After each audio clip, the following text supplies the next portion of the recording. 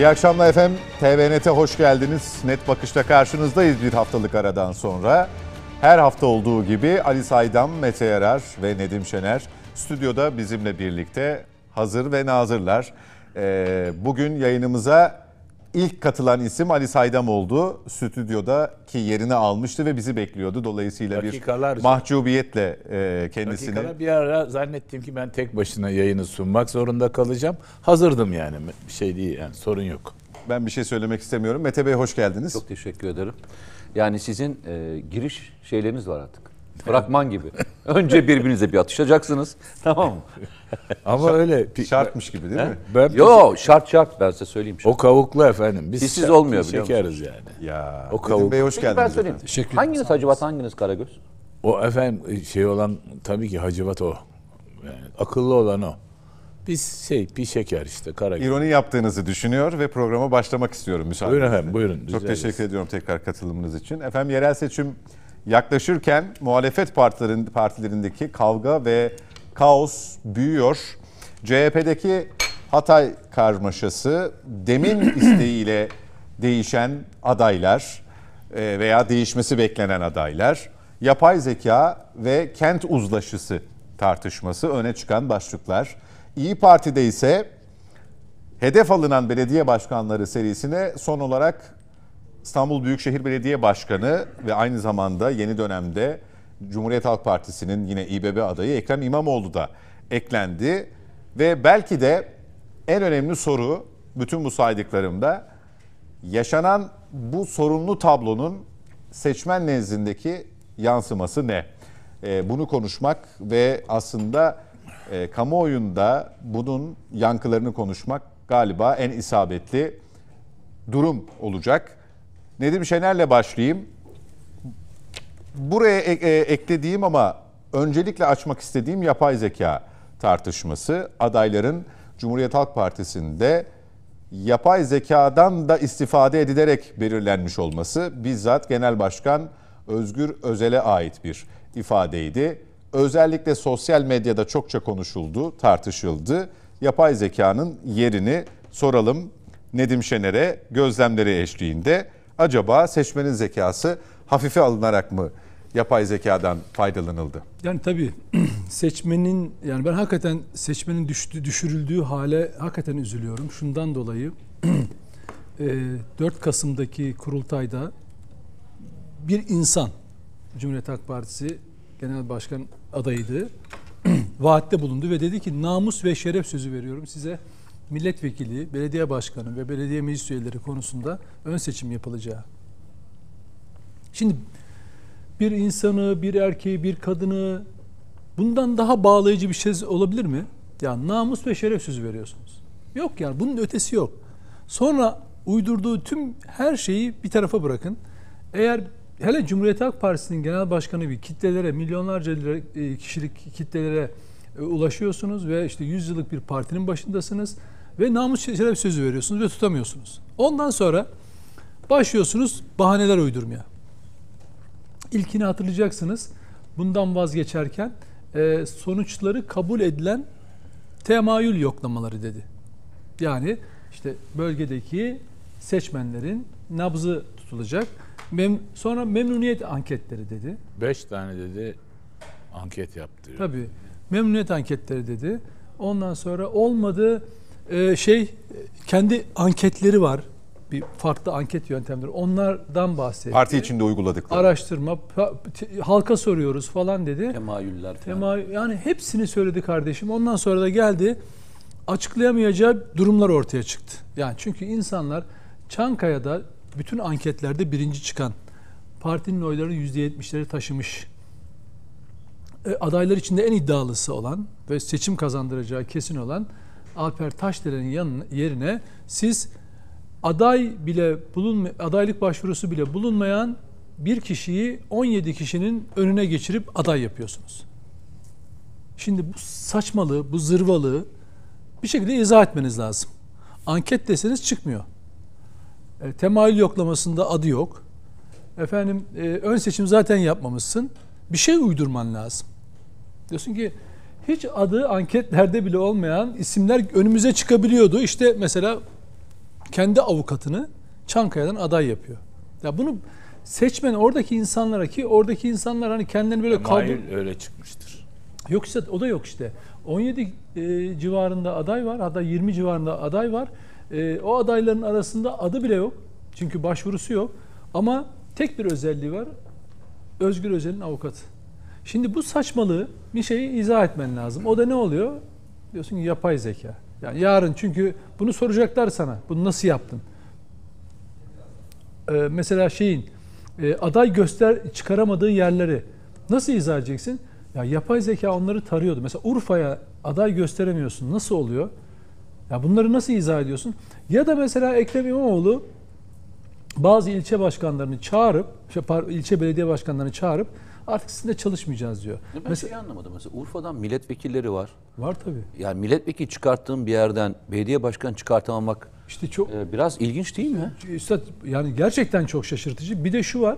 Mesela Hatay konusunda bu kadar tartışma var. Ee, yapay zekaya başvursanız bir sonuç verecek ama bir türlü sonuca gidemiyorsunuz. Ee, Lütfü Elva, Lütfü e, Savaş'ın e, ismi gündeme geliyor. Onu ikna edemiyorsunuz çekilmeye. Toplumda tepki var. Çekilirsem bağımsız olurum ha. Tabii diyor. yerine e, Haluk Levent'i buluyorsunuz alelacele o, o bunu sizi refüze ediyor ve siz Lütfü Savaş'ın yerine koyacak bir ikinci isim belleyemiyorsunuz. Hakikaten yapay, yapay zeka bence iflas etmiş. Yani CHP'de yapay zekayı da kendine çevirmişler. Yani koy oraya.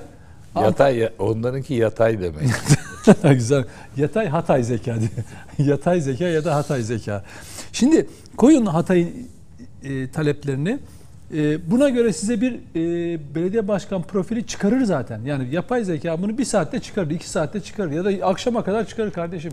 Ama sen Lütfü, El, e, Lütfü Savaş çıkarıyorsun, e, getiriyorsun, olmuyor ve sonunda adam seni tehdit ediyor. Bak diyor, eğer beni seç, koymazsan ben bağımsız girerim. O zaman ne oluyor? Şöyle bir sonuç ortaya çıkıyor.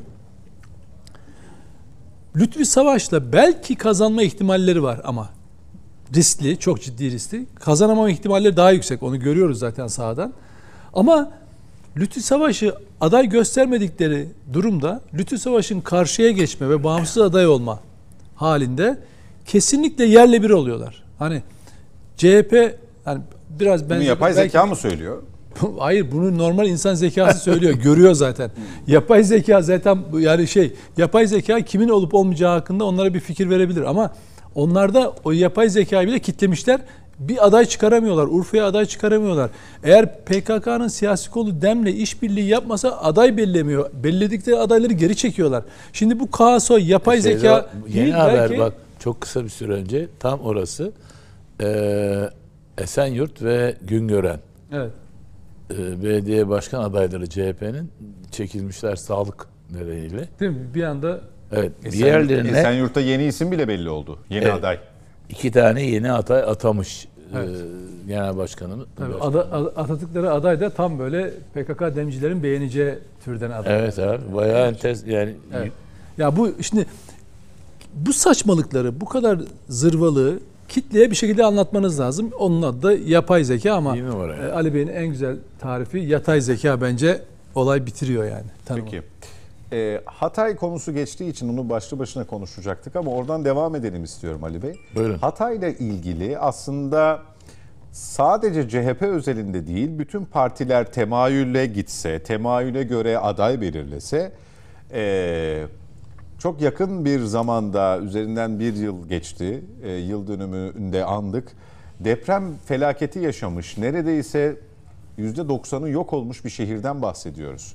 Ee, hem deprem sürecinde hem sonrasında zaten e, akabinde de genel seçim, Cumhurbaşkanlığı seçimi aslında Hatay bir cevap verdi. Yani canları yanıyor olmasına rağmen Evet. e, o halleriyle sandığa giderek e, neden memnun olduklarını, neden şikayet ettiklerini sandık sonucuyla ortaya koydular. Çok Sadece burası referans kabul edilse bile bırakın adayın kişisel hırslarını parti kurumsal kimliğiyle nasıl hareket edeceğini bilemez mi?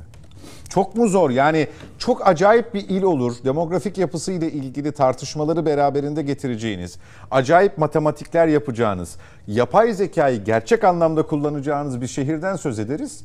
O zaman başka şekilde konuşabiliriz. Ama bunu Hatay özelinde zorlanıyor gibi davranmak ya da işte mevcut adayın bakın benden vazgeçerseniz bağımsız girerim diye sizi Ha. töhmet altında bırakması, Parmak sallayan yapması, sall- parmak sallaması. Parmak sallayan sallıyor. Sadece o değil ki. CHP içinde parmak sallamayan yok ki. Yani Ama hem- siyasi iletişim açısından nereye kon- konumlandırıyorsunuz? Şimdi bakın şöyle ifade edeyim. Sayın Cumhurbaşkanı Rize mitinginde söyledi galiba değil mi? Bunlar bir gelen gideni aratıyor. Ee, Rize mitingine söyledi yanılmıyorsam. Şimdi bakın 2010'dan itibaren daha da geriye gidin istiyorsanız ama esas 2010'da kırılma noktası bana sorarsanız Cumhuriyet Halk Partisi'nde gayrimilli bir çizgiye, milli e, bağımsızlık ve bölünmez bütünlükten yavaş yavaş uzaklaşmaya başladığı e, nokta 2010. Orayı milat olarak. Bir, bence bir kırılma noktasıdır e, Cumhuriyet Halk Partisi için Kemal Kılıçdaroğlu'nun e, kurultayda başkan seçilmesiyle beraber. Şimdi bakın yönetim kadrolarına kim kaldı değer eski kıymetlerden Cumhuriyet Halk Partisi'nin içinde partinin şeyini koruyabilecek yani değerlerini bakın şeyini değil yani ideolojisini falan vazgeçtim ama bu partinin içinde bir yani bütün gruplar için geçerlidir ya. Şimdi TVNet için de geçerlidir. TVNet'i ayakta tutan şey değerleridir yani. Bu değerlerinden yani bir tanesini söyledi işte e, Nedim. Yani o değerlerinden bir tanesi namus sözü verdiği zaman bunu tutmak meselesi mesela.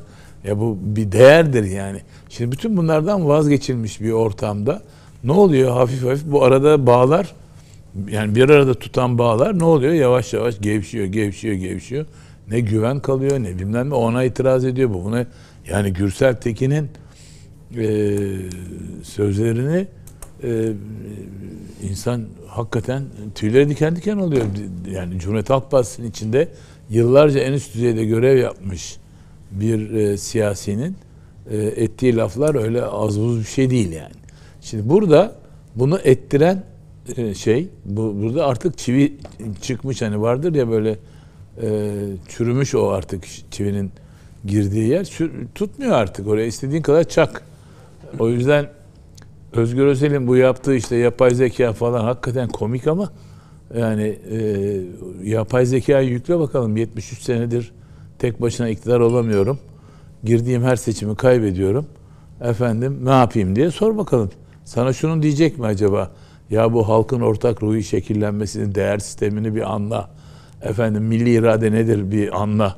Belki o zaman şansın var diyecek mi yapay zekayla yönetilen bir yapı.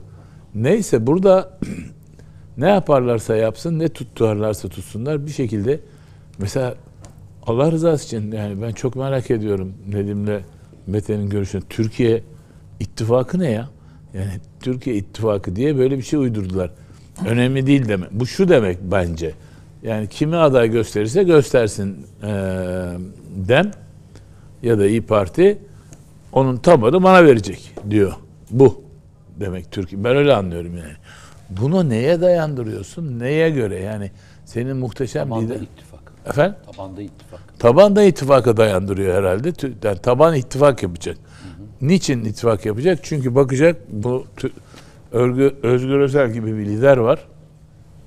Bu lidere güvenilir. Türkiye'nin gelecek tasarımında büyük bir görev alacak ve muazzam bir lider. Onun için onun etrafında Cumhuriyet Halk Partisi'ne birleşelim diyecek taban değil mi? Buna inanıp Türkiye yani şeydeki e, Ankara'daki e, şeyde lansman toplantısında belediye başkanları lanse ettikleri toplantı hakikaten bir vodvil yani komedi bile de diyemeyeceğim vodvil sahnelenmesi gibi yani o Ne anlama geliyor efendim Mete Bey için merak ettiğini düşünerek. Mete Bey biliyordur vodvil ne anlama geliyor. Vodvil e, komedi Fransız'da e, sahnelen hakikaten çok e, hakikaten esprileri çok e, düşük düzeyde olan ve de çok e, güldüren falan bas- basit komediler. Komedi dediğiniz zaman daha üst düzeyde bir şey anlaşılıyor falan ama vodvil daha e, yani mesela şey diyelim e, Ya ben geç gerçekten. Recep- eee, Recep İvedik abim konuşurken alttan alt yazı geçmesini istiyorum ya. Yemin ediyorum ya. Ben bunu talep ediyorum ya şeyden TVNet'te. Mr. Bean tarzı galiba değil mi yani hani? Evet bravo. Daha şey Recep İvedik falan. Yani O tarz komedi, vodvil yani kakara kikiri falan böyle bir şey yani. Hakikaten öyleydi ya şey takdimi falan bu e, işte filmlerini, reklam filmlerini takdim etti ya onu iki defa gösteririm diyor falan. Niye iki defa gö- Böyle bir koşul mu var acaba? Yani sanki bir iletişim kuramaymış gibi iki defa gösterelim. Ya bir iletişim öyle bir şey vardır. Pekişsin ve Ha pekisin falan diyemedi. Neden iki defa sahnede bir ona koşturup bir ona bir komen şey gibi sunucu gibi yani vasıfsız bir sunucu gibi yani Vas- bir bu sunucu bu kadar çok hareket etmez çünkü. Yani vallahi güldüm yani maalesef üzülerek babam benim iyi bir Cumhuriyet Halk Partiliydi. Adamın kemikleri sızlamıştır Allah rahmet eylesin. Yani böyle bir e, ortama dönmesinin sebebi topa, tamamıyla değer sisteminden kopmuş olması. Artık ne bağımsızlık ne bileyim tek hedef var Erdoğan'ı devirmek AK Parti iktidarına ve işte Cumhur, Cumhur İttifakı'na son o olsa. Her şeyde mübah. Hayır, o olsa yani öyle bir siyasi projeksiyon da hayır. Sadece İBB'ye İmamoğlu'nu seçtirmek. O kadar dar bir vizyonu. Yani CHP Genel Başkanı diye koyulan adamın vizyonu Ha, İBB, İmamoğlu'nu evet, evet. seçtirmek üzerine. Onu Türkiye üzerine bir herhangi bir tasarım falan yok zaten üstad. Peki İmamoğlu'nu oraya seçtirirse başına bela olmayacak mı ya kendisi? Hayır işte onu o zaman şöyle o bir başarı sayılacak ve kontrol edilebilir, yönetilebilir bir süreç onlar açısından. CHP Genel Başkanlığı daha sonra gündeme gelebilir veya onunla yaptığı mutabakat şu. O İBB Başkanı olarak ileride e, Cumhurbaşkanı adaylığı için e, Çalışacak. hazırlanacak. Evet. Kendisi CHP Genel Başkanı olarak kalacak. Yani Ha. şöyle düşünün. CHP Genel Başkanısınız. Bir program ve bir teşkilat var arkanızda. Ama Hedefiniz siz belediye- Cumhurbaşkanlığı için İBB Belediye Başkanı'nı hazırlıyorsunuz. Senin iddian ne peki siyasette? Oturduğun koltuk. Bundan ibaretsin yani. Onu da zaten İBB Başkanı senin altına sürdü. Doğru. Vizyon bu. Hay Allah. Peki Mete Yarar, Nedim'in söylediği yerden devam etmek gerekirse bütün mesele İBB'ye İmamoğlu'nu seçtirmekse bu arzunun hali hazırda da e, İBB Başkanı Sayın İmamoğlu olduğu için soruyorum. Bu arzunun devam etmesinden murat ne? Şöyle söyleyeyim. Ee, hani biz kendi görüşümüz adına söylemeyelim. CHP'ye yakın kaynaklar diyelim. CHP'li gazeteciler diyelim. Ee, kulis demeyelim ya. Var Açık ya. açık söylüyorlar çünkü. Kulisi falan geçti bu yani. Yani açık açık söylüyorlar. Televizyonları seyredersen duyuyorsun. Üç tane plan var diyorlar. Yani bu üç planı artık hepsi e, zikrediyor. Hani bunu şey de yapmıyorlar. Mesela bu söylenirken ee, şöyle de düşünmüyorlar. Yani vay be. Yani bir partide üç tane plan olur mu? Üç kişinin planı olur mu? Partinin bir planı vardır değil mi? Misyonu vardır, vizyonu vardır. Gidersin değil mi abi? Yani böyle bir şey vardır. Evet. Bir manifestosu vardır. Tabii canım. Ama şimdi bakıyorsun üç manifesto var. Ekrem İmamoğlu manifestosu, Özgür Özel manifestosu, Kılıçdaroğlu manifestosu. Üç manifesto. Üçünün de ayrı şeyi var. Herhalde olmayan bir tek manifesto hani e, en son demişlerdi ya halkın yok sokağın sesini dinleyeceğiz demişler değil mi? Heh, sokağın sesi. Yani CHP'lilerin sesi dinlenecek mi acaba? Ya sonuçta hani biz bazen acaba diyorum haddimizi mi aşıyoruz? Ya CHP'liler hayallerinden memnunsa, hay- hayatlarından memnunsa. Bize ne oluyor? Efendim? Bize ne oluyor? Gerçekten bize de ne oluyor? Bak vallahi espri yapmıyorum. Ben bunu ciddi ciddi söylüyorum. Bize ne abi? Yani insanlar yani bizden çok daha hani zeki insanlar, bizden çok daha görmüş insanlar. Hani 100 yıllık parti hani baktığında Türkiye'deki e, kuruluşuyla aynı e, seneye denk gelen bir partiden bahsediyoruz yani. Şimdi böyle bir partiye akıl mı veriyoruz biz ya? Arkadaş gören görüyor, görmeyen görmüyor. Bence asıl konuşulması gereken şey CHP'nin planlarından çok memleketin planı ne ya? Bir şey söyleyeyim? Çok özür diliyorum. Senin yanında böyle şeyler konuşuyorum. Estağfurullah. Yani sen çünkü iletişimin duayenisin. Estağfurullah. Biz güvenlik politika uzmanıyız yani. Bizi vodvil kabul et. Efendim? Vodvil kabul et bizi. evet evet yani şaka yaptığımızı kabul et. Öyle de kabul et. Şaka yaptığımızı kabul et. Provokas, provokasyona gelmeyeceğim. Siz devam edin. Ben bir şey demedim abi. ben, Ben, ben gelmeyeceğim. Bana mı söylüyorsun? Rica ederim. Ben beyefendiye Beyefendi size söyler miyim ya? Şeye söylüyorsun. Hacı Vatan. evet, peki. Ee, geçen gün de bahsettim. Çok hoşuma gitti ya. Bir e, psikoloji eğitimleri veren bir e, şey var. Önemli bir kişi var. Bir eğitim sırasında Abi ortaya şey koyuyor bir tane. Ee, ekmek koyuyor. Diyor ki bu ekmeğe basana 100 dolar vereceğim diyor. Kimse Basmıyor. basmıyor. Yani kimse kalkıp basmıyor. Bekliyor. 500 dolar vereceğim diyor. Yani ekmeğe basana 500 dolar vereceğim. Abi kimse yerinden kıpırdamıyor ya. Arkasından tam elini kaldıracak. Oradan bir tanesi elini kaldırıyor. Basmaya mı karar verdin diyor. Aa diyor. Burada diyor 100 bin dolar da versen hiç kimse bu ekmeğe basmaz diyor. Zaman dönüyor diyor ki gördünüz mü diyor. İşte bu değerler eğitimidir diyor. Değerler eğitimi. Orada değerler eğitimi dedikten sonra bir anekdot anlatıyor. Dünyada diyor birkaç şey çok daha önemlidir diyor. Yani ekmeğe basmak için, basmamak için verdiğiniz özveri ve eğitime neden yalan ve gıybet için göstermiyorsunuz diyor. Şimdi ben kendi uyarlamamı yaparak söyleyeceğim. Ekmeğe basmamak için, ekmeğe basmamak için gösterdiğimiz gerçekten de yani hiç kimseye bastıramazsınız değil mi abi? Yanlış mı söylüyorum? Tabii canım. Ekmeğe bastıramazsınız değil mi? Tamam. İnsan. Büyük ayıptır, büyük bir günah olarak kabul ederiz. Yapanı da ne yaparız? E, yerde ekmek gördük mü üç defa Yani ne yaparız? öp başımıza yukarı koyarız ya. Çok kötüleriz değil mi abi? Tamam. Evet, evet. Şimdi değer eğitimi. Ben de kendi versiyonumu koyuyorum. Peki bunun için gösterdiğimiz özveriyi vatan, millet ve bu ülkenin değerleri, inancı, ahlakı, gelenek göre- görenekleri, atalarımız için neden aynı özveriyi göstermiyoruz? Yani ayağa bastığımız, ayağa basmadığımız o ekmek kadar neden bu değerlere sahip çıkmıyoruz? Başkalarının bunlara bastığında hiçbirimiz ağzımızı açmıyoruz. Birisi ekmeğe bassa hop kardeşim deriz değil mi? Hop kardeşim deriz. Ne oluyor kardeşim? Hiç mi medeniyet görmedin? Hiç mi anandan babandan eğitim görmedin dersin değil mi? Dersin değil mi abi? Al o ekmeği dersin kenara koy dersin değil mi? Tabii tabii yukarı bir yere. Ha, şimdi, şimdi memlekette de bizim yaptığımız aslında birisi basmaya çalıştığında, birisi basmaya çalıştığında, demin söylediğim değerlere basmaya çalıştığında söyleyeceğimiz tek bir kelime var. Hop hemşerim, yanlış yere basıyorsun diyoruz. Bizi ilgilendirmiyor kimsenin tercihleri ve yöntemleri. Ben kendi değerlerimi ben değerlerimi savunuyorum. Doğru. Değerlerimi savunuyorum. Bu değerler benim için esastır ve bundan da taviz vermem arkadaş. Ha sen başka yerde kapalı ardında yaparsın o da senin ayıbındır. Ama benim bulunduğum ortamda buna müsaade etmeyeceğim. Bizim de mücadele bu aslında. Hiç kimsenin siyasi parti tercihleri, yaptıkları, etmedikleri beni çok ilgilendirmiyor. Dediğim gibi herkesin inanılmaz aklı var, zekası var. Hatta bizi küçümsüyorlardır. Küçümsüyorlardır. Vay be. Yani böyle mi diyorlardır? Diyorlardır yani. Yani yüzde altmış oy alacağını düşünen adamlar şu anda hala konuşuyor çünkü Türkiye'de.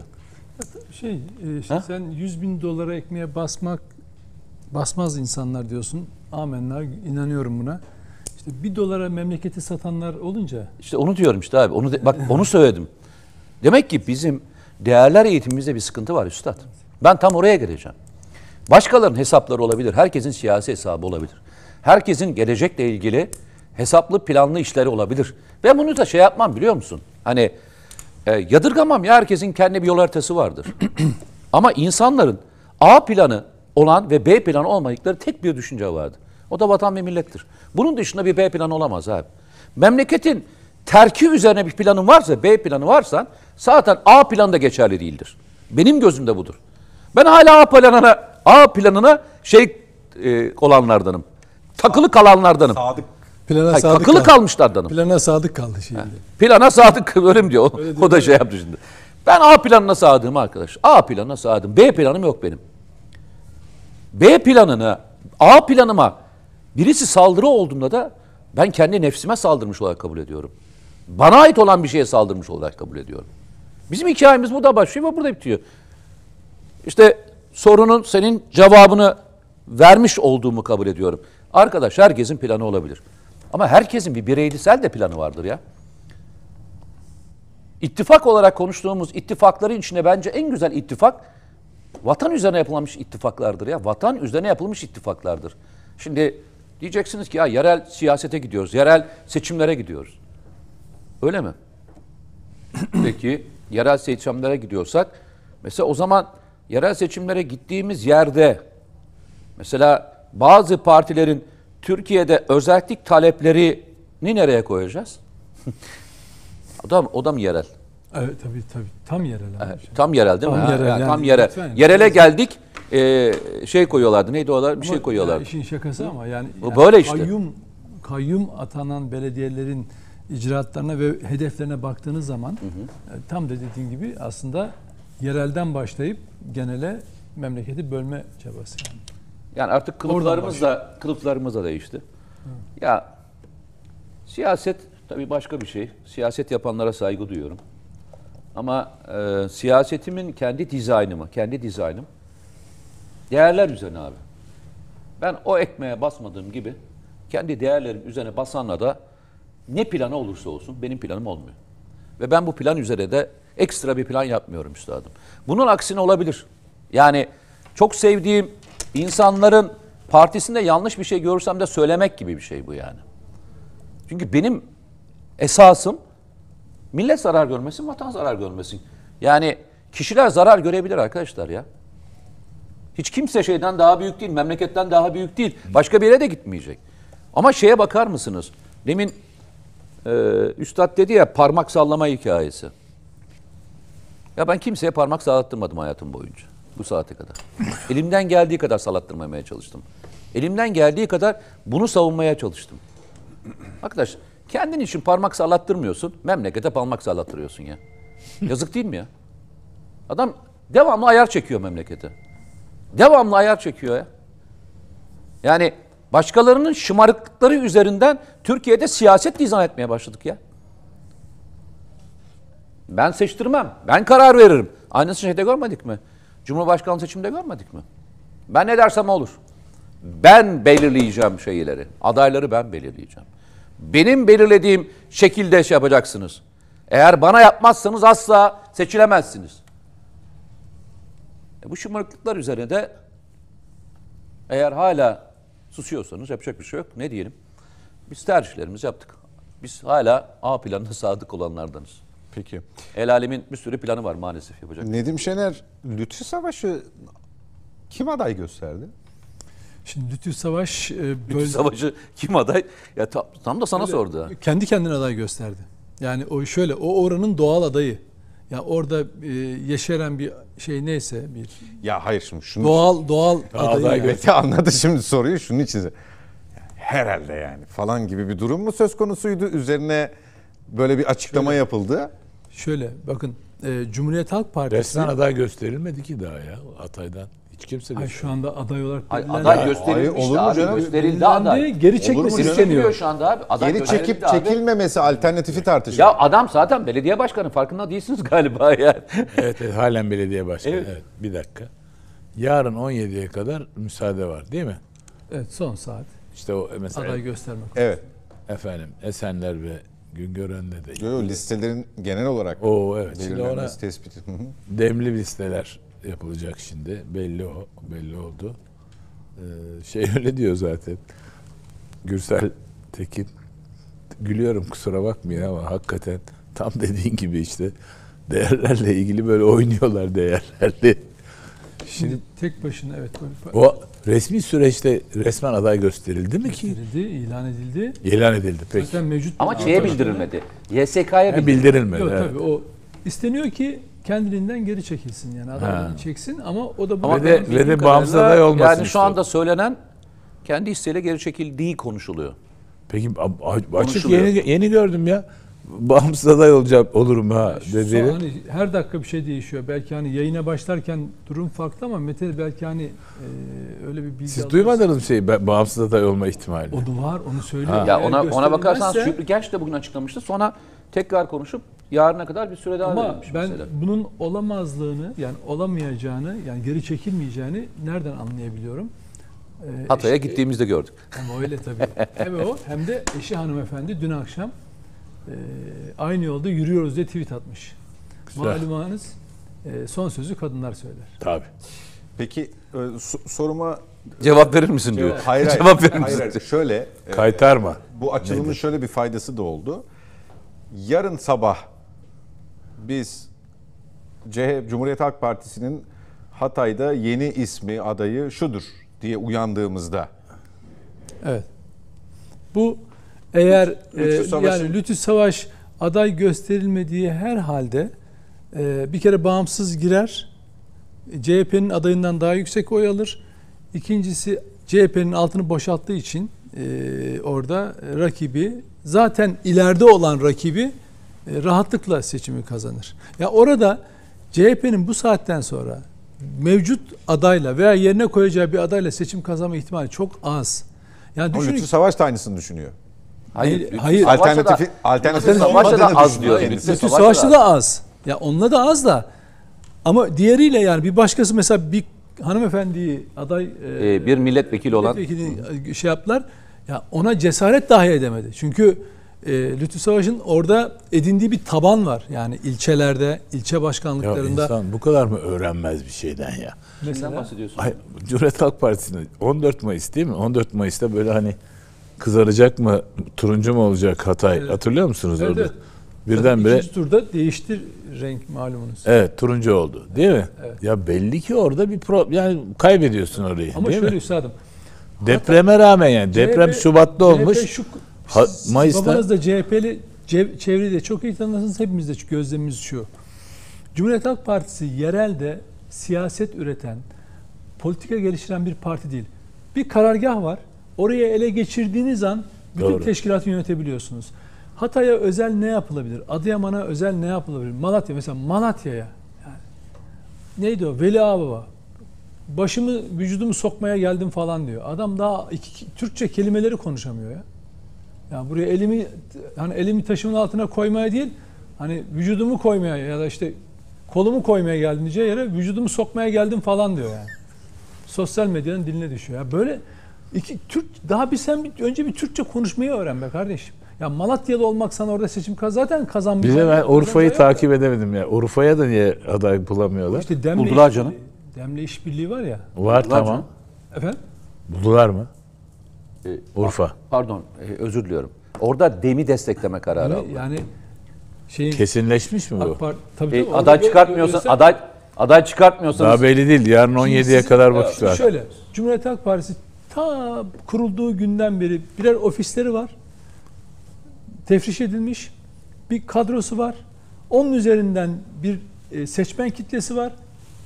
Bu hangi parti olursa olsun, Demokrat Parti olsun, Adalet Partisi olsun Hmm. ya da kim DYP olsun o süreçlerde hep CHP'nin yanında duran bir seçmen kitlesi var.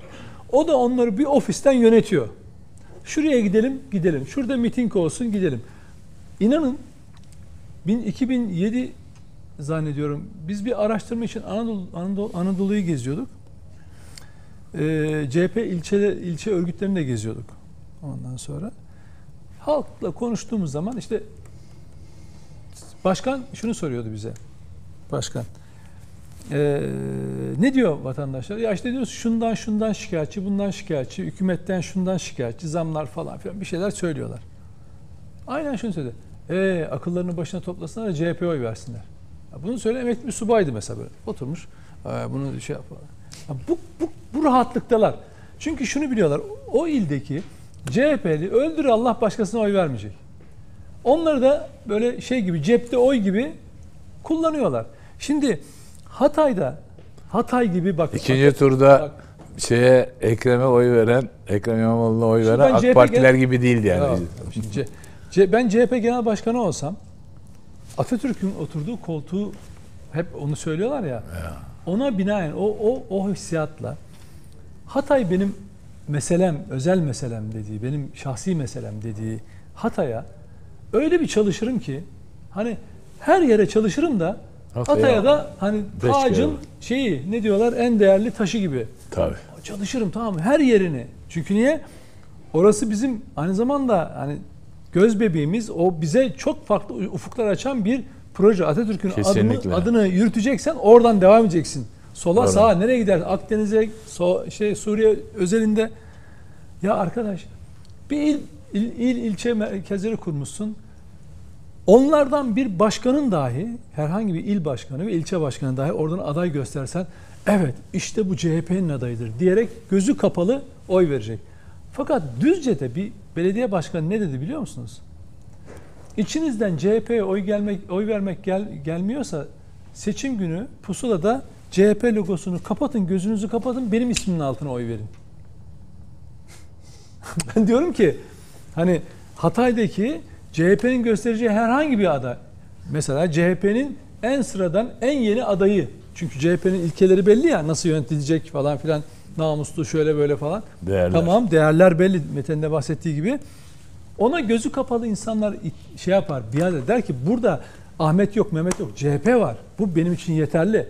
Sen ama Lütfü Savaş'ın ki eski bir AKP belediye başkanıdır. Onun yerine bir ikinci adam üretememişsin. Yerelden adam çıkaramıyorsun. Koyduğun adam aman aman falan diyor. Kaybederiz. Ben gelirsem kaybederiz diye aday dahi olamıyorlar. Cesaretleri yok.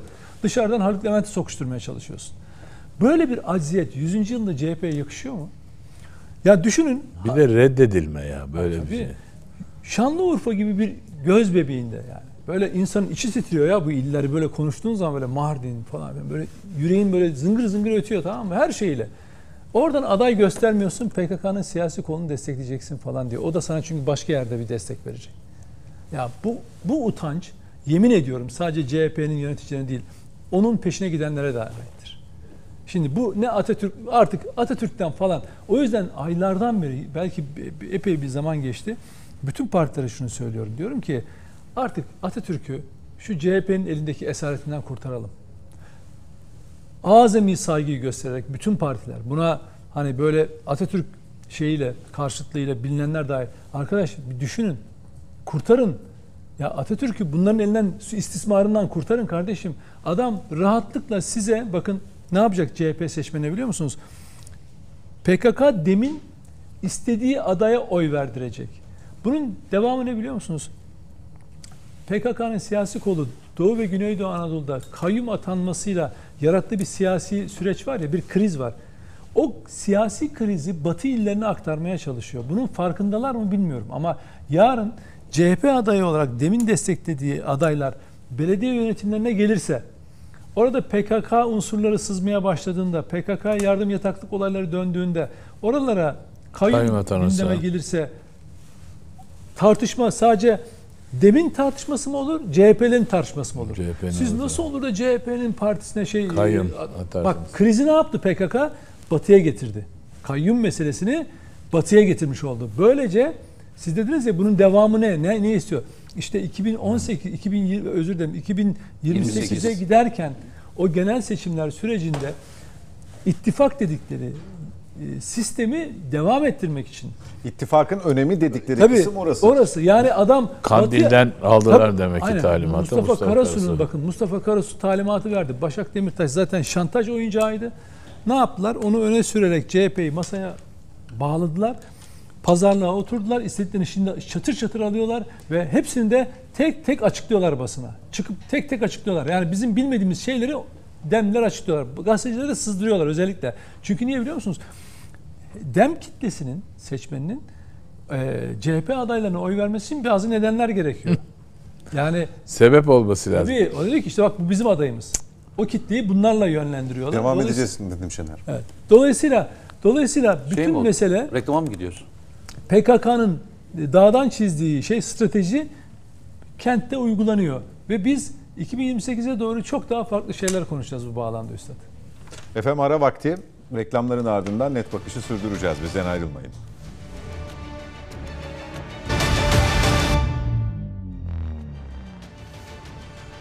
Yeniden birlikteyiz. Net bakışa devam ediyoruz. Cumhuriyet Halk Partisi'nde yaşanan aday belirleme, daha doğrusu belirleyememe süreciyle ilgili e, durumu konuşuyoruz. Rahatsızlıkları, parti içinde yaşananları, söylenmek istenip de bir türlü söylenemeyenleri.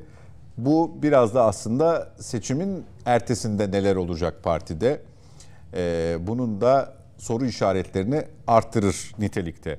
Bir de aday tanıtım toplantısı ile ilgili Ali Bey, Sayın Kılıçdaroğlu'na davet gitti mi? E, Gittiyse kendimiz kendisi mi icabet etmek istemedi? hiç mi çağrılmadı konusunda bir e, fluluk vardı. Davet gelip de gitmemiş olsaydı bu bas bas bağırırlardı ve duyardık yani. Demek ki gitmemiş davetiye. Ben öyle an- hissediyorum. Yani Gitmemesi normal mi? hayır çünkü sadece o değil ki eski başkan es- genel başkanlık yapmış olan Örsan şeyi var. Altan Öğmen. Altan Ömen pardon. Var bir sürü şey var ya onları da göremedik yani. Eski parti kurmayları. Eski parti kuramayaları. CHP'ye gönül vermiş birçok isim Evet, evet. davetiye almamış. Evet. evet. Bu normal mi? Hayır burada yani iktidar kendi iktidarını yapay bir şekilde savunma e, doğrultusunda bir iletişim. Artık ben varım. Ben tabii tabii böyle bir zaten onun her şeyi kendi iktidarını sarsan bir unsur olarak gördüğü için böyle e, şeylerini de çıkarmış vaziyette bekliyor yani. Zaten müthiş bir yükleme var. E, demokrasinin kılıcı gibi şey duruyor başında. Ekrem İmamoğlu her an gelip tepeleyecek ve de e, Cumhuriyet Halk istediği zaman tırnak içinde algı şu. Ekrem İmamoğlu istediği zaman gelir Cumhuriyet Halk Partisi'nin genel başkanları teslim alır. Şu anda istemiyor çünkü bu seçim ma- mağlubiyetini biz nasıl görüyorsak o da görüyordur herhalde bir lokma. Yani buradan bir seçim mağlubiyeti çıkacağını belki yani İstanbul ortada diyorlar hala 41'e 41 ölçülmüş en son. Onu ölçen de şey işte e, bir başka e, araştırma şirketi. Ben de o civarda yani bir iki puan önde gibi gözüküyor e, Murat Bey. Fakat böyle ucuca gözüküyor her şeye rağmen. Kafa kafaya evet. Kafa kafaya gözüküyor. Şimdi buradan bir nerede olsa bir seçim mağlubiyeti çıkarsa bunun faturası kime çıkacak şu anda? Bas bas ben bir muazzamım, liderim. Ben her şeyi belirlerim havasında olana çıkar yani. Başkasına çıkacak. Ekrem İmamoğlu'na çıkar mı? Yok. Gayet iyi yönetiyor Ekrem İmamoğlu. Spin doctor dediğimiz yaklaşım biçimiyle gayet iyi yönetiyor. Kendisi böyle sanki her şeye karar vermiyormuş gibi. Oysa pek çok konuda iktidar sahibi olduğunu biliyoruz yani sizler. Burada Nedim falan gayet iyi anlatıyorlar ya. O yüzden Mesela bu demle pazarlıkta e, etkin olan ismin Özgür Bey mi Ekrem Bey mi olduğunu düşünüyorsunuz? Ekrem Bey'in hiçbir problemi olmadığını düşünüyorum bir kere. Ekrem Bey'in böyle bir meselesi yok. Demin Mete çok güzel koydu değerler meselesini. Ekrem Bey'in öyle bakın değerleri meğerleri olsa o e, şeyde İstanbul felaket kar felaketinden geçerken e, Sefir'le balıkçıya gitmezdi yani. Böyle bir değer sistemi olsaydı İstanbul sel felaketindeyken Bodrum'a gitmezdi. Başka bir felakette kayak kaymaya gitmezdi falan. Böyle bir değerleri meğerleri yok. Onun gayet tam spin doctor ve de yani önemli olan amaç aracı mübah kılar. Machiavelli list bir yaklaşımla e, götürüyor e, vaziyeti. O yüzden Benlik bir şey yok. Hah, havası. bravo. Evet. Ve şöyle hafif e, yani mesela bak- e, fotoğraflara bakıyorum. iki adım arkada yürüyor mesela. Özgür Özel'in filmde dikkatinizi çekerim. Bakın filme. Kim nerede yürüyor dikkat edin. Veyahut da bir Biraz daha ama şimdi adayların tanıtıldığı bir reklam filmi ya. evet. Hani orada yerini bilmesi ve belirlemesi. Ama hani hani şeyde ikisi beraber çıktılar. Hani çünkü Cumhuriyet Halk Partisi'nin genel reklam filmi olur dediğiniz belki biraz daha anlaşılabilir. Ama canım Ama- kurultaydaki durumlar bilmem ne hep orada böyle eş O, o başkan. tamam, o tamam. Eş başkan dedirtti.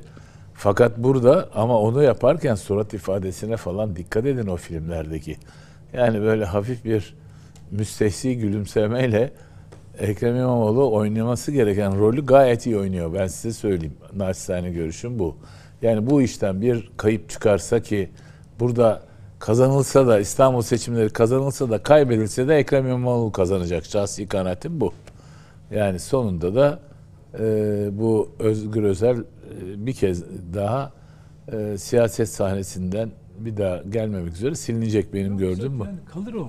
Kalır mı? Kalır yani şey e, sizin deminden bahsettiğiniz gibi tanıtım toplantısında reklam filmleriyle ilgili böyle çocukça bir şey böyle amatör Çok. hiç asla bir olgun koltuğu dolduran Lisede müsamerede Ya- böyle yapmazlar yani. Hep Bak böyle ama bakın yani şöyle böyle kollar eller hani işte alkışlatıyor falan böyle hani yani hani nasıl söyleyeyim bulunduğu yere öyle tesadüflerle öyle bir e, kendi imkansızlar içinde gelmiş ki ha, bilmiyor. Nerede olduğunun farkında bile değil. Yani bir, bir yerde oturuyor ama bir, bir koltuğu işgal ediyor. O el kol hareketleri mesela şeylere e, grup toplantısında işte gidin seçimi kazanın falan filan diyor. Oysa yani seçimi kazanması gereken kendisi farkında değil. Oradakiler ki gidin seçimi kazanın diyor. Onlar da alkışlıyorlar falan filan. Yani böyle saçma sapan bir de kendini alkışlıyor, alkışlatıyor falan filan. Garip bir ruh hali. Do- Bu bu ruh hali e, şöyle söyleyeyim. E, biliyorsunuz tüzük değişmiş ve e, bundan sonra yani e, 4 yıldan önce bir kurultay yapılması ancak genel başkanın imzasıyla olabiliyormuş. İmza toplasanız da olmuyor. Dolayısıyla Ya Tabii. Şimdi öyle bir sigorta var elinde. Yani Özgür Özel yarın kendini oraya taşıyan İmamoğlu'na da kazık atıp Kılıçdaroğlu'yla beraber hareket edebilir. Yani şeyi siyasi kare- e, karakteri buna çok elverişli. araştır, son araştırma yani ben 3 tane araştırma gördüm. CHP'liler nezdinde Kılıçdaroğlu daha başarılıydı diyenlerin oranı yüzde 67, O kadar. 68 falan. Tabii. Bunu Yani da çünkü- görüyordur o. Senin dediğin. Tabii yani o Derin Bey sizin o çünkü her şekilde. seferinde kendini korumanın, e, paçayı kurtarmanın derdinde. Vay canına. Yoksa normal şartlarda Bu mesela- kadar mı ya? Yani siyaset bazen şöyle bir şeydir. Ee, kaybedersiniz ama yenilmiş değilsinizdir. Yani dersiniz ki ben e, sadakatle yanında bulunduğum lideri desteklemeye devam edeceğim. Öyle diye yapanlar da var çünkü. Ve onun e, işte neyse mesela o ofiste kiraladığı ofiste işte yan masayı da ben tutacağım. Bu karakteri güzelleştirir. Yani onur katar insana. Ama o ne yaptı? e, zayıf düştüğünü gördüğü an Zoom toplantısına katılıp oradan Kılıçdaroğlu'nu hançerledi. Şimdi şeyin çok güzel bir sözü var ya Devlet Bahçeli'nin bir kere satan bir daha satar diye. Şimdi bir kere sattı ya merak etmesin. Genelde şimdi Cumhurbaşkanı Erdoğan diyor ki o hançeri diyor Özgür Özel senin de sırtına saplarlar falan gibi bir şey söylüyor. Yok. Kendisi hançer olduğu için yarın İmamoğlu'nun sırtına İmamoğlu, saplamak için. Başka, hesaplıyor. başka. Çünkü kullanışlı bir el onu e- tuttuğunda mutlaka vazifesini yerine getirir. Bir de bizim Areda'nın bir araştırması CHP tabanının Sayın Kılıçdaroğlu'nu aradığı Gerçekten. yönündeydi. Evet. Ee, bu kadar kısa sürede yaşananların ardından bu araştırmaya bunun yansımış. Cumhurbaşkanı da onu söylüyor. Giden geleni aratıyor diyor demek ki. Ee, bir yandan da tabii bunun e, şöyle bir saha yansıması. Sayın Kılıçdaroğlu esnaf ziyaretinde falan bulunuyor. Evet. Yani e, şimdi Mesajları çok açık. Yani Mesajları bak, biz çok siya- net. ben siyaseti bırakıyorum, siyaset beni bırakmıyor falan. falan. E, bu şimdi 1 Nisan'dan itibaren bir şey olacağını gösteriyor. Evet gelen gideni Aratıcı- bu- aratıyor. Bu, Lafı anlamda e, bunu Bu şeyin de işareti. e, CHP içinde kırgın, küskün denilen belli gruplar var ya Kılıçdaroğlu'na yakın, onu desteklemiş olanlar. Onların bakın bütün o gruplar tes- tasfiye edildi partide. Yani bütün Kılıçdaroğlu destekçisi kim varsa mesela İzmir'i çok güzel örnek veriyorlar. E, diyorlar ki e, bütün ilçeler Kılıçdaroğlu'nu destekledi. Merkez Kılıçdaroğlu'nu destekledi. Hepsini tasfiye ettiler. Bir kişi desteklemedi. O da Özgür Özel'i destekledi. Onu da İzmir İl Başkanı yaptılar. İl, il e, adayı yaptılar. Anlatabiliyor muyum? Yani bak bütün ilçe başkanlarını değiştiriyor. Çünkü Kılıçdaroğlu'nu desteklediler. Onların içinden bir tanesi Özgür Özel'i desteklemiş. Onu da İzmir İl Başkanı büyük, büyük, Büyükşehir Başkanı Evet, adayı başkan adayı yaptığı kişi. Yani bu kadar hani insanların gözü önünde gerçekte yaşanıyor her şey. İstanbul'daki tasfiyeler mesela Gürsel Tekin falan tasfiyesi. Nerede durduğu biliniyor insanların. Çünkü İmamoğlu şunu, şunu çok açık. İmamoğlu seçim sonrası o seçimi kaybetmeyi de öngörebiliyor, tahmin edebiliyor. O yüzden seçim sonrası CHP yönetirken kendisinin sözü geçen, kendi ekibim dediği e, belediye başkanlarıyla ve parti yöneticileriyle çalışmak istiyor. Zaten parti teşkilatını da Özgür Özel her ne kadar kurdu falan ama e, İmamoğlu'na en yakın isimler mali işler dahil olmak üzere e, genel merkezde görev yapıyor. Dolayısıyla 1 Nisan'dan sonra olacak olan İmamoğlu'nun artık tavşan başkanının işine son verip şeye geçmesidir. direksiyona. Direksiyona gerçekten sa- patron olarak geçmesidir. yani. Meseleler e, Meral Hanım ne yapıyor sence? Ne görüyorsun? Ağlıyor diye.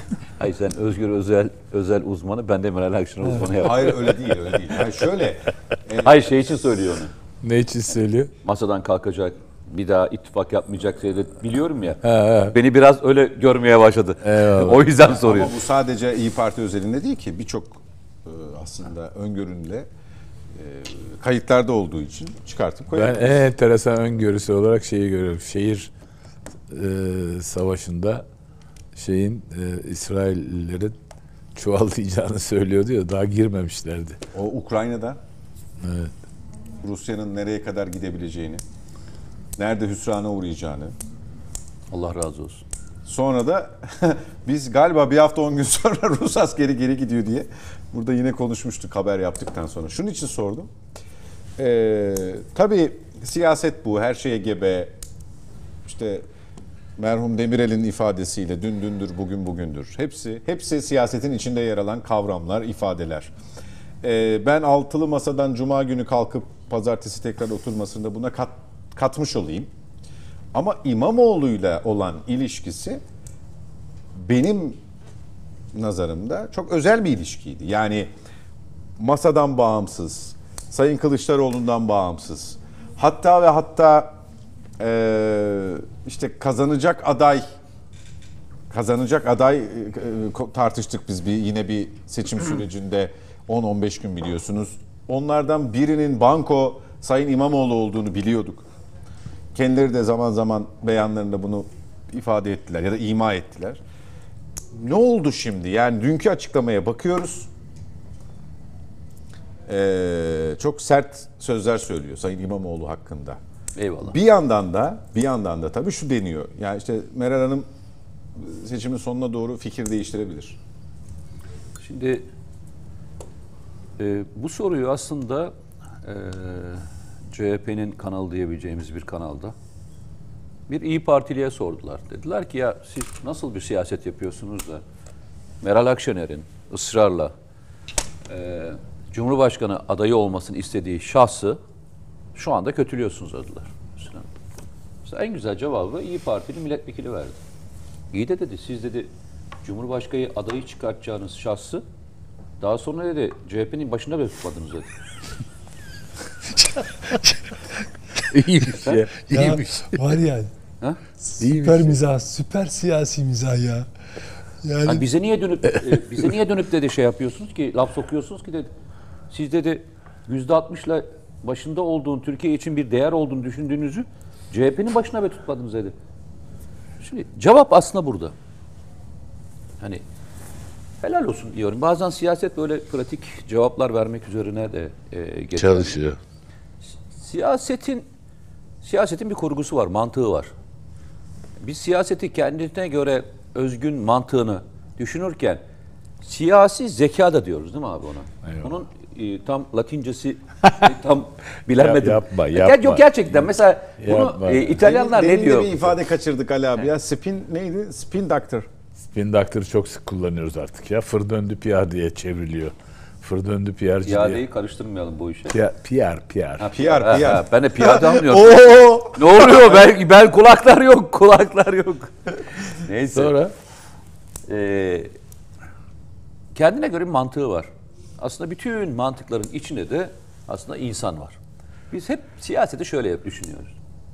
Hayatta insan egoları yok. Yok. Egodan temizlenmiş bir siyaset.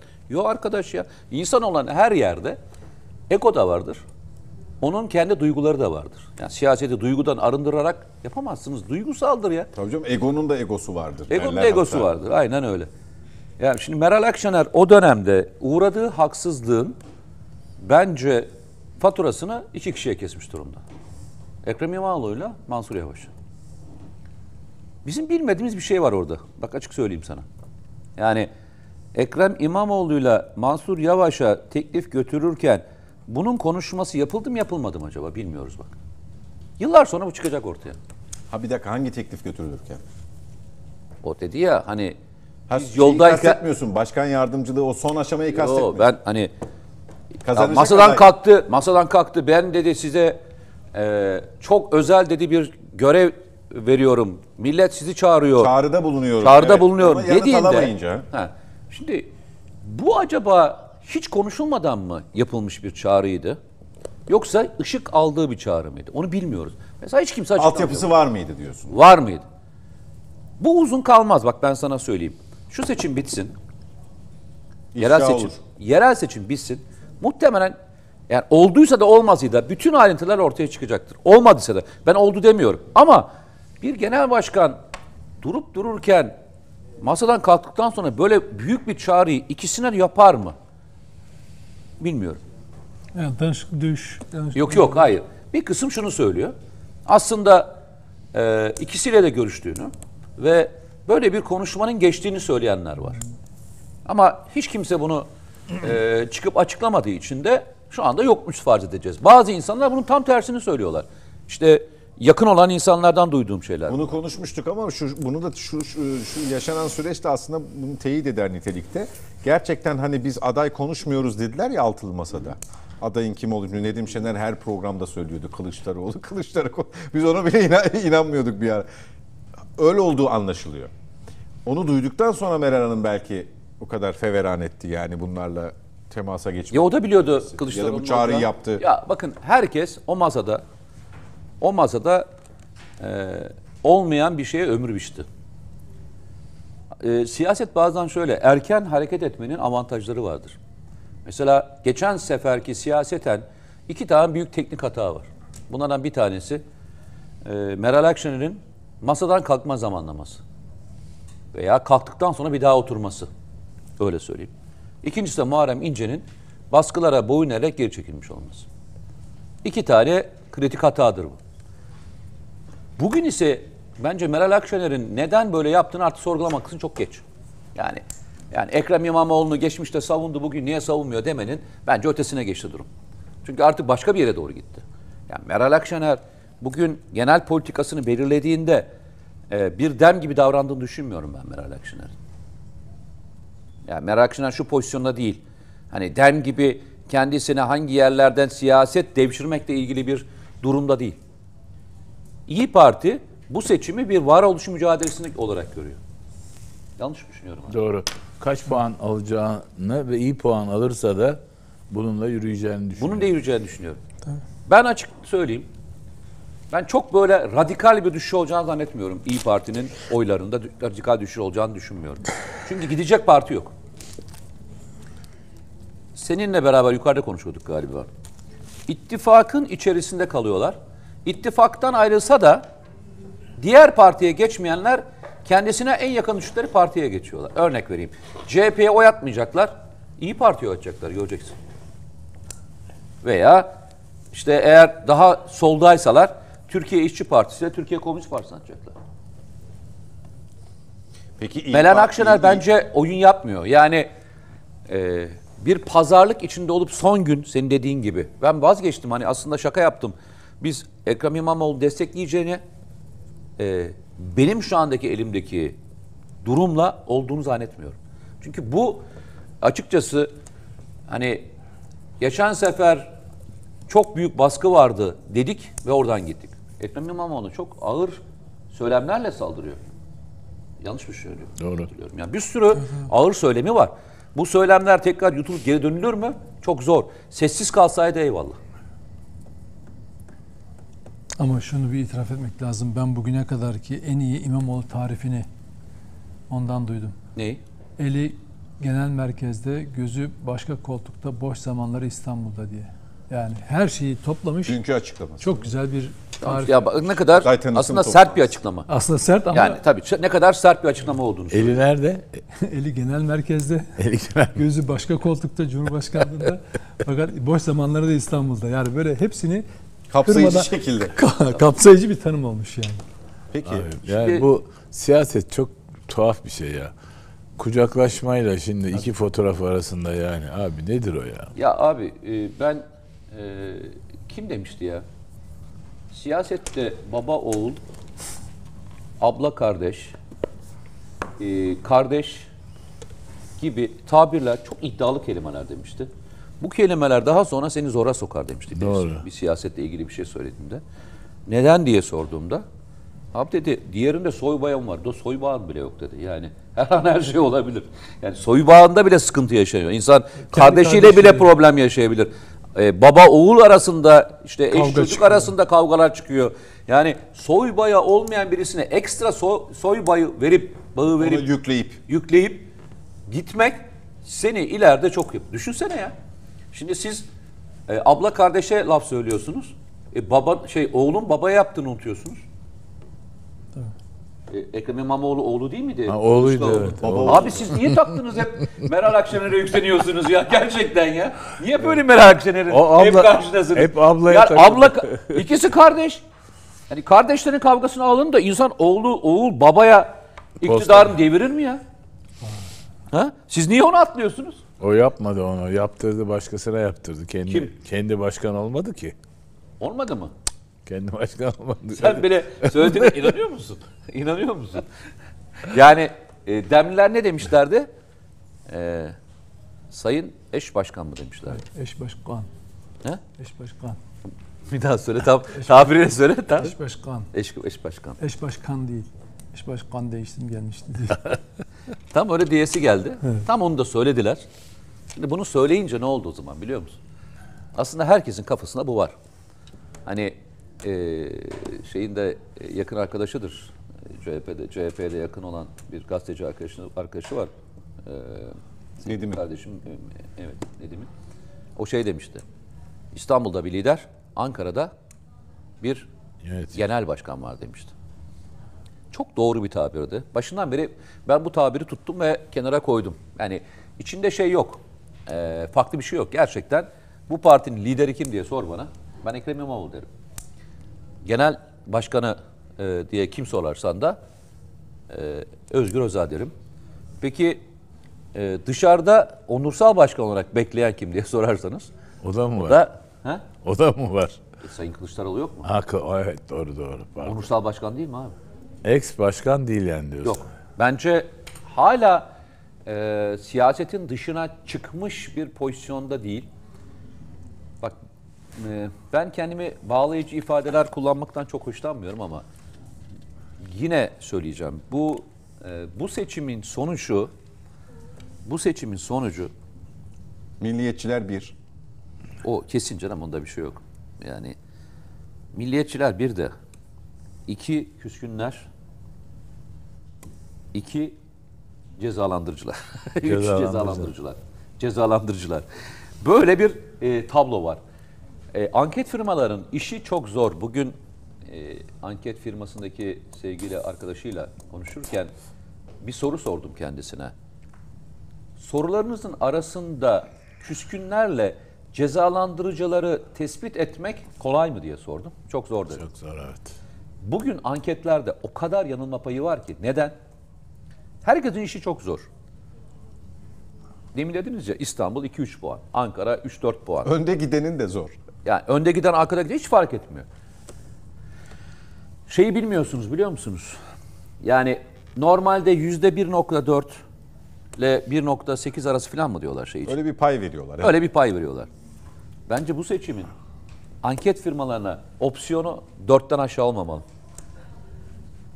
Çünkü öngörülebilir değil. Öngörülebilir değil. Çünkü sana şunu söylemiyor ki adam. Evet kararsızlar da var. Kararsızlar kaç gün? O ayrı. Ama şimdi kararsızları sen nasıl dağıtıyorsun biliyor musun? abi? İşte kötü tarafı o. Öteki taraftan aldığı oylara göre. Sen eşit olarak dağıtıyorsun. Ama adam küskünse hayatta gidip oraya vermeyecek. Hele, Sen cez- küskün hele, hele, ki. hele cezalandırıcıysa Ben bunu şeye sordum özellikle. Bulabilir misiniz dedim. Yani çok ekstra sorular, ekstra Kaç puan sorular, oynatırmış ekstra, bu? Efendim? Kaç puan söyleyemiyor ki onu. Ben ben ben tahminimi söyleyeyim. Kaç puan oynatırmış yani? Ben ben söylüyorum. 4 diyorsun değil mi? 4 puan diyorum. ya dörde kadar toleranslı olmak lazım. Öyle mi? Ben 4 puana kadar Yani cezalandırıcı 2 oldum. ile Ama şimdi- 2 ile geçiyorum Ama da bu- diye Ha? sevinme diyorsun mesela. 2 ile geçiyorum diye sevinme diyorsun mesela. Haşırt diye 4 o tarafa giderse 2 ile kaybedersin yani. Bu söylediğim CHP için geçerli. Ha. AK Parti'deki bu oran Cezalandırıcı e, bu yok oran orada peki. istatistiğin içinde kalıyor. E, CHP'deki bu oran dörtlere kadar çıkıyor. Çünkü sahada görüyorsun ya sahada görüyorum. Yani e, bunu yani şimdi Lütfi Savaş için konuşuluyordu ya. Yani Lütfi Savaş bence sembol isim. E, İzmir Oo. Ya İzmir'de küskün yok mu? Olmaz mı canım? Yani İzmir'de küskün yok mu? Başka yerlerde küskünler yok mu? Soyer hiç mi çalışmamış yani 5 sene çevresine? Yok hani şöyle söyleyeyim. Bakın hani e, ne olursa olsun hayatta e, belki ayrılmamamız gereken önemli şeylerden bir tanesi nezaket değil mi abi? Siyasi nezaket e, bu dönemde şeyde çok unutuldu. Ya abi AK Parti'de seçilmeyen bir sürü kişi var ya. Bir sürü kişi var. Bunu bunu tebliğ eden kim oldu? Başka bir belediye başkanı mı tebliğ etti? Yani çağırıp mesela örnek vereyim. Neresi için söyleyeyim? Ankara için söyleyeyim. Ankara'da şu anda işte Büyükşehir Belediye Başkan adayı olan Turgut Altınok diğer belediye başkanlarını çağırıp ya biz seninle çalışmayı düşünmüyoruz arkadaş. Seni yerine Ahmet'i koyacağız diyor mudur sizce? Mümkün mü ya böyle şey? Bak, Veya Bursa'daki şu anda olan belediye başkanı. Ya biz seni düşünmüyoruz arkadaşlar. Sen olmayacaksın. Bu tebligat, bu tebligatlar bile, bu yaşanan süreçler bile. Mesela şimdi Şükrü Genç belki dönecek. Abi hiç kırılmadı mı? Oradaki kırılan ve örselenen bir seçmen yok mu? Bakın şunu konuşuyoruz. Geçen sefer İstanbul seçimlerinde Hatırlarsanız AK Parti'nin e, il teşkilatı ile Binali Yıldırım arasında bir koordinasyonda problem olduğu çok şeydi, aşikardı. Aynı ritimde gitmedi iş. Ve 13 bin oy. Bak 13 bin oy. Yalnızca ritim bozukluğu. Bak ritim bozukluğundan bahsediyorum. Abi şimdi kan uyuşmazlığı var. Onu ne yapacaksınız? Geçen seferki ritim bozukluğunun sonucunu gördünüz. Peki kendi genel başkanının ötesine il başkanının veya kendi sevdiği adamın seçilmemesinde ilçede CHP'ye oy veren gidip şeyde oy verecek mi zannediyorsunuz? Büyükşehir'de oy verecek mi zannediyorsunuz? Bu yüzde dört e, oranını söylerken şöyle bir şey geldi aklıma. O zaman e, ne kadar süredir diyelim? Son 5-6 seçimdir. Anket ya- yaklaşan anket firmaları, işte bilen, tutturan falan diye değil mi? Seçimden sonra konuşuyoruz. Bu seçim için çok zor o zaman. Çok zor. Yani ben bu seçimde abartmazsa rakamları yani hani diyor ya şimdi bazı yüzde 60 da kazanıyoruz demez demez. Örnek veriyorum. İşte yüzde 44 de kazanıyor. Yüzde 42 ile kaybediyor. Bak ben burada hiçbir e, şeyi e, anket firmasını şeyle suçlamam. Yani niye bildiniz bilemediğinizde suçlamam. Çünkü son anda kızgınlığın ölçüsünü bilemiyorsun üstad. Kızgınlığın ölçüsünü bilemezsin. Böyle bir seçim öncesi arefesi hatırlıyor musun? Bak ben hiç hatırlamıyorum. Bak e, hatta bugün kimle konuştuk ya bir e, sevgili arkadaşımla konuştum ama yani ki- birkaç kişiyle konuştuğum için e, şimdi kimle konuştuğumu hatırlayamadım. Ben ilk defa bu seçim kadar e, sönük bir seçim görmedim.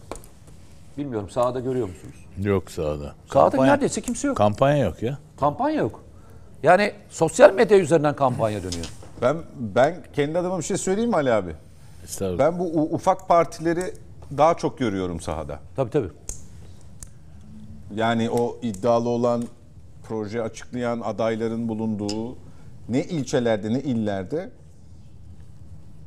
seçim kampanyası diye bir şeye rastlamadım açıkçası. Yani ya ama, bir erken ama yani mi? işte biz işte oyunu değiştireceğiz falan filan deyip adaylarını açıklayan, kendi adayımızla çıkacağız diyen partilerin ya oyları yüzde iki üçe tekabül ediyor olsa bile sahada varlıklarını gördüm.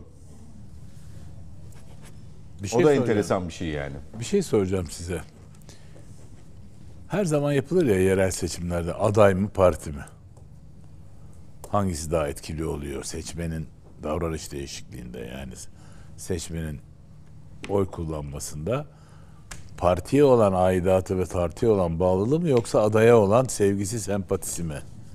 Bu açıdan da bu seçim biraz iş bana sorarsanız daha çok parti ağırlıklı gibi geliyor şahsi kanaatim Öyle mi düşünüyorsun? aday ağırlıktan ziyade öyle düşünüyorum.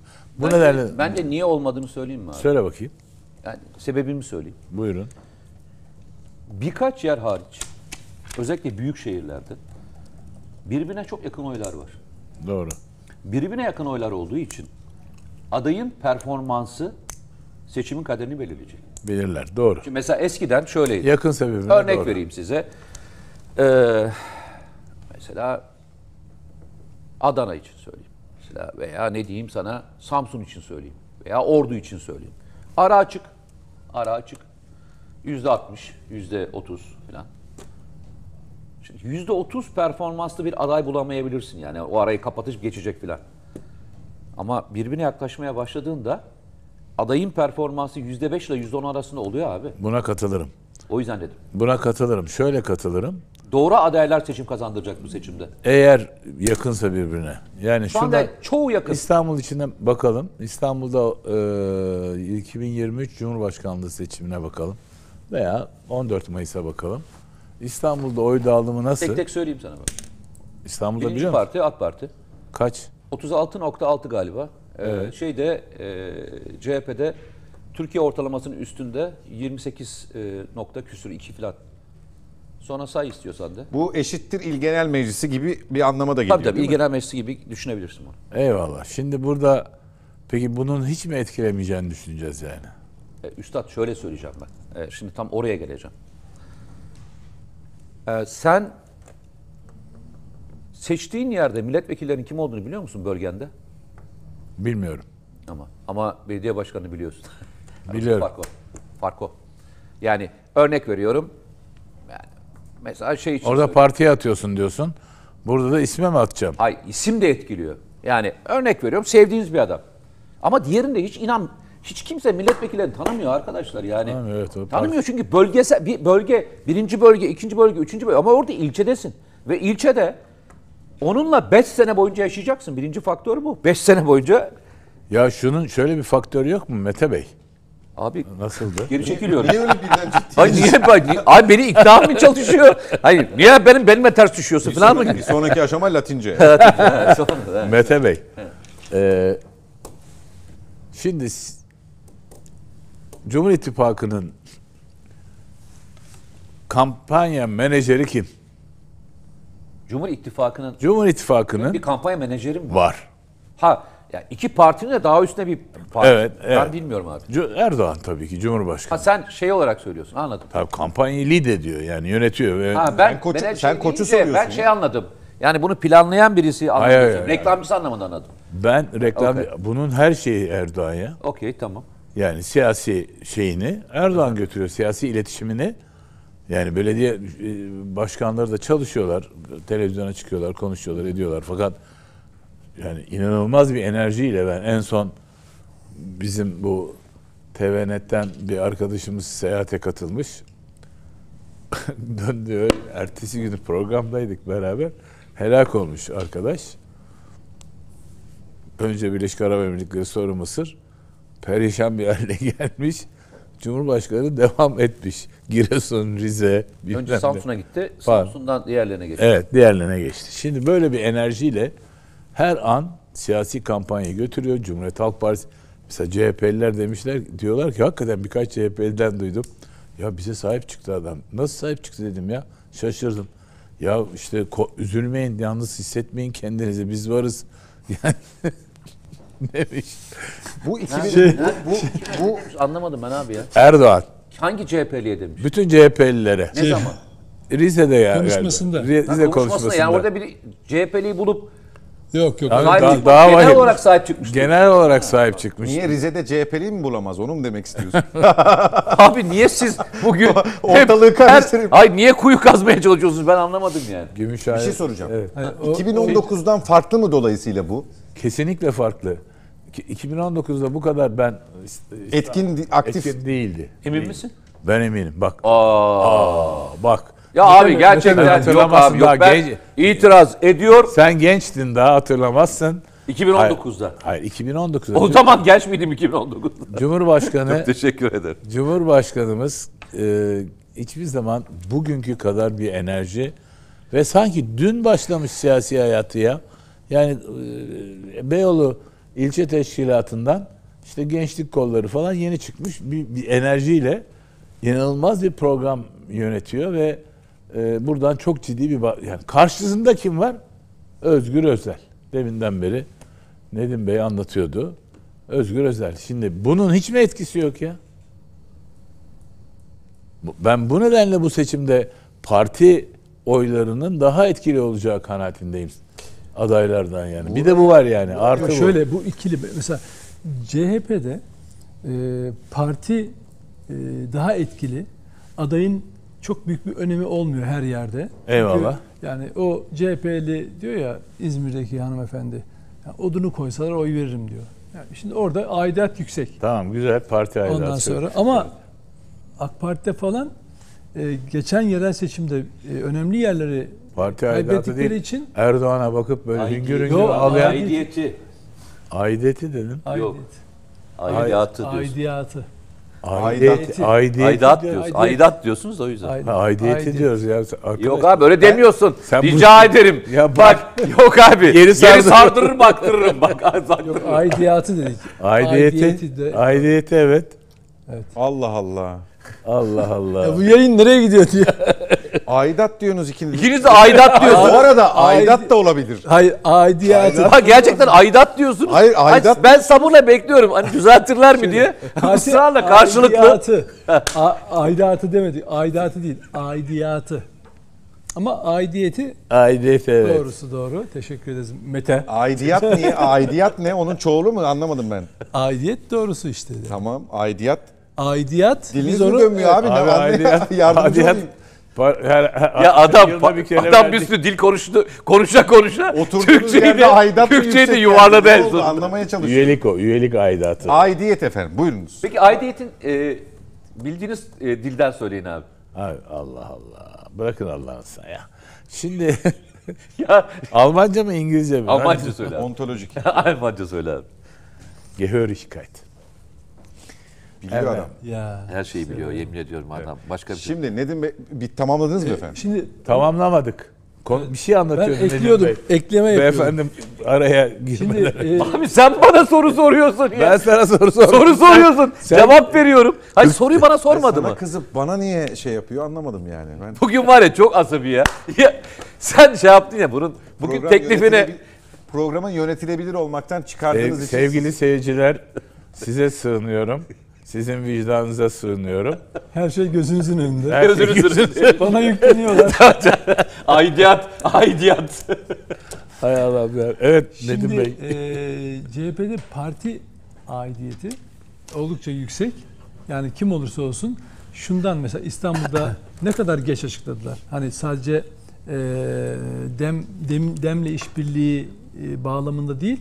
Nasıl olsa kazanıyoruz. Örneğin Beşiktaş, Tabii, örneğin. Kadıköy, örneğin Bakırköy veya işte bir sürü yer. Sadece e, şey değil Ankara için ya da diğer e, İzmir için de olabildiği kadar geç. Evet. Niye? Çünkü kimi koysak 20 tane değil 50 tane de aday olsa 51.yi koyuyoruz. Tamam CHP aidiyeti tamam da o da lider aidiyeti var şeyde de. Efendim? AK Parti'de de lider aidiyeti var. O, o ba- pa- lidere bağlılık ayrı bir şey. O çok etkili tamam. Eyvallah, Ama o belli bir oranda öyle olsa sadece o yetse, sadece o yetse kimi koyarsanız koyun işte kazanacak diye bakarsınız. Ama öyle olmadığını geçen o 2019 Abi seçiminde birbirlerine girerse eğer bakın bence bir şey- adayla Hayır, teşkilat şöyle, birbirine Sadece girerse Erdoğan'a mal ederseniz mesela Murat Kurum'un anlattığı projeleri gördünüz. gördüm. Hakikaten Çok yani etkili. e, yani insan şöyle diyor hani o ona oy vermeyeceksiniz bile ya bunları yaparsa hakikaten İstanbul için bir kurtuluş dersiniz. Özür dilerim Nedim bir saniye. 2019'u şu yüzden de sordum. Evet efendim. Mesela bu adaylarla bu düzenle 2019'un üzerine oturtun bunu. alırdı Cumhur İttifakı. Neden? Çünkü ülkenin içinde bulunduğu durum, enflasyonist ortam, emeklinin durumu, e, halen devam eden zamlar. Şimdi parti aidiyetine eklemlenebilecek şeyler. Kişilerden ve adaylardan bağımsız. Doğru. Dolayısıyla Ama işte- bunu bunu bunu yabana atmamak lazım. Tabii Evet. hayır bir projeler, projelerin ne kadar dinamik olduğunu mesela Murat Kurum'un ben her gün çok farklı yaklaşımlarla bir takım açıklamalar yapıyor. Mesela benzetmeleri bile çok farklı kullandığını, hakikaten çalışılmış bir kampanya yürüttüğünü anlayabiliyorsunuz. Yani mesela bugün 6000 650 bin konuttan bahsetmişti ya bizim Evet, programına evet, katılmıştı. Evet, evet. Mesela İmamoğlu ona ne cevap verdi biliyorsunuz değil mi? Evet. Ya böyle bir şeye gerek yok mu dedi. O cümlesi var mı bilmiyorum. Ya- yapamaz dedi. Ha, yapılmasına gerek de yok. Gerek de yok diyor. Yani ya düşünebiliyor musunuz hani nasıl o projenin altında ezildiğini en kötüsü Murat Kurum'un bunu yapabileceğine olan inancını gösteriyor. Yani Ve hani yaparsa. ya bunlar gerçekçi değil. Boş laflarla falan deyip geçiştirmiyor. Gerek yok böyle bir şey yapmaya falan filan diyor mesela. Niye? Çünkü onun olabilirliğini görüyor. Çünkü yılda 65 bin konut eğer hakikaten İstanbul için hem lüzumlu Orada hem de yapı... bir seçenek de var ama. Ne gibi? Yapsam ben yapardım demek istiyor. Gerek görmediğim için yapmadım diyor. Ama İstanbul'un şartları belli, ihtiyaç da belli. O zaman peki niye İstanbul yenile- yenileniyor diye bir kampanya yaparak işte biz sizi yenileyeceğiz, yeniliyoruz diye bir çağrıda Kentsel bulunuyorlar? dönüşüm, Kentsel dönüşüm e, konusunda. sözlerini mesela Tabii yani kampanyada Hayır. görmeye başladık. Tabii bakın yani şey karşılığını buluyor. Yavaş yavaş projeler konuşulmaya başlıyor. O yüzden AK Parti'nin bu sefer adaylarını hakikaten kent bazında da şey e, özellikle halkın nabzını tutarak bellediğini. Çünkü sadece Erdoğan'a bağlılık, parti aidiyeti Ya bir de Aydın değil. Ayaydan'ı dinledim ben geçenlerde. O da çok enteresan. Evet. O da Muğla için Ya çok enteresan var, şeyler bakın, söylüyor. Bu insanların, konuşan insanları parti kimliklerinden çıkarır. Mesela İzmir'de e, Hamza Dağ'ın yaptığı gibi. Parti kimliğini bir tarafa bırakarak kampanya yürütüyor. İzmirlilere hitap ediyor ve oldukça şey alıyor. Olumlu dönüşler alıyor tamam mı? Yani aslında bizim vatandaşımız yani seç, bütün seçmenin tamamı ihtiyaçlarını biliyor. illerinin ya, toplu kendi e, Ben söylediğimi düzeltiyorum abi. Par- parti bağımlılığı, parti sadakati değil. Liderin partinin liderinin fonksiyonu hiç mi yok bu seçimlerde? Var. Onu diyorum. O, o, o, o bir asgari zemin üstadım. ne var? Lütfen Bak- değişik yapmayın. Bak şunu söyleyeyim. Sorunuzda sabit kalın. Ee, Ali Bey, o o demeyeceğim. Aidiyet, aidiyet o demeyeceğim. o o şöyle Plana bakın. O mesela e, hiç istenmedikleri bir adayı da gösterse Erdoğan İstanbul'da mesela böyle Murat Kurum gibi işte e, işte seçenekler arasından kendi belirttiği en iyisi diye bir isim değil de hani böyle ya bunu mu çıkardın diye denecek bir aday.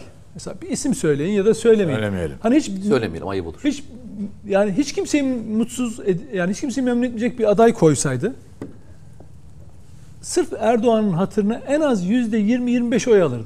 Ama bak bu bu kadar ama yüzde 25'le bir seçim kazanamazsınız. Tamam, öbür tarafında o koysun bir lokma ya. ama bak bu, Allah Allah. bu CHP'de lidere değil parti sembolüne olan aidi, Mutabık. aidiyet. Mutabık. Bak Yani- bir şey sesim çıkıyor. Ama a, belirleyici olan ne? Mete'nin de söylediği gibi o kampanya, o çalışma adayın performansı. Eğer ona da katılıyorum. Burada o olacak. Eğer çok yakınsa mutlaka ki o şeyin adayın Niye itiraz e, ediyorsunuz deminden beri kavganız? Hayır ama kavga ara- ettiniz? Yayının süresini aldınız. Söyledik ya ya, bu canlı yayının sahnesi kaç para üstad biliyor musunuz ya? Yani ne yapıyorsunuz? Ya benim- bakıyorum hesaplıyorum şu an. hesaplıyorum. Şu anda ne kadar Bak para. ben şey şirketi Hayır, bo- düşünüyorum. Şey, borcumuz ne kadar? Serhat.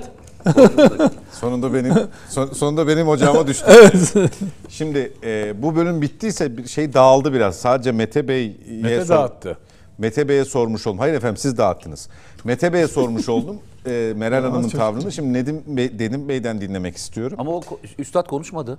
Benden sonra oraya geçmedi. O araya girdi yalnız. Tabii o şey Onun kısmına söz gir hakkını hiç kullanmadı o. Ya Allah Ben razı olsun. kesmiş Bir oldum. adalet var burada hiç olmasa çalışan. Onun, e, o araya girerek bu kadar konuştu. Gerçek hakkını kullanmadı da. Tabii. Boş ver. Bu, ben bu ne- beni beni beni es geçip seyirciyle aramıza girmek, vicdan falan kameraya dönüp hareketler. Bundan sonra ona söz vermemi beklemiyorsun herhalde. Tribünlere Bu oynama. akşam bitti. Peki ben vazgeçtim. Tribünlere oynamayalım. Bu akşam bitti onun işi. Sen Misyonunu tamamladı yani. ben, ben milli irade. Vardı ya reklam kokan hareketler bunlar diye. Ben milli, milli irade. onu dememiştin. Evet hadi tamamla onu da. Evet. Geleceğim efendim. Ee, Şey de ya, ya sıkışırsan Türkiye layık değil layık kalacak falan diye. Oradan yürüsün. Ee, Nedim Bey, şunu sormak istiyorum. Ee, Mete çok e, net özetledi aslında, çerçeveyi de çizdi ama e, asıl merak ettiğim şu. İyi Partililer adayları olmasına rağmen İmamoğlu'na oy vermeyecek mi? Şöyle e, bakın e, iyi Meral Akşener'in stratejisi yani 2028'e e, asıl odaklanmış bir e, strateji. E, bu yerel seçimi bir test ama asıl partiyi İmamoğlu tahakkümünden kurtarma projesi yürütüyor. Bunu anlıyorum ben. Yani şimdi bir Meral Akşener e, konumunda bir siyasetçinin e, İstanbul'da il sürekli her konuşmasında İstanbul'daki il başkanına e, yükleniyor olması boşuna değil. Neyi biliyor biliyor musunuz?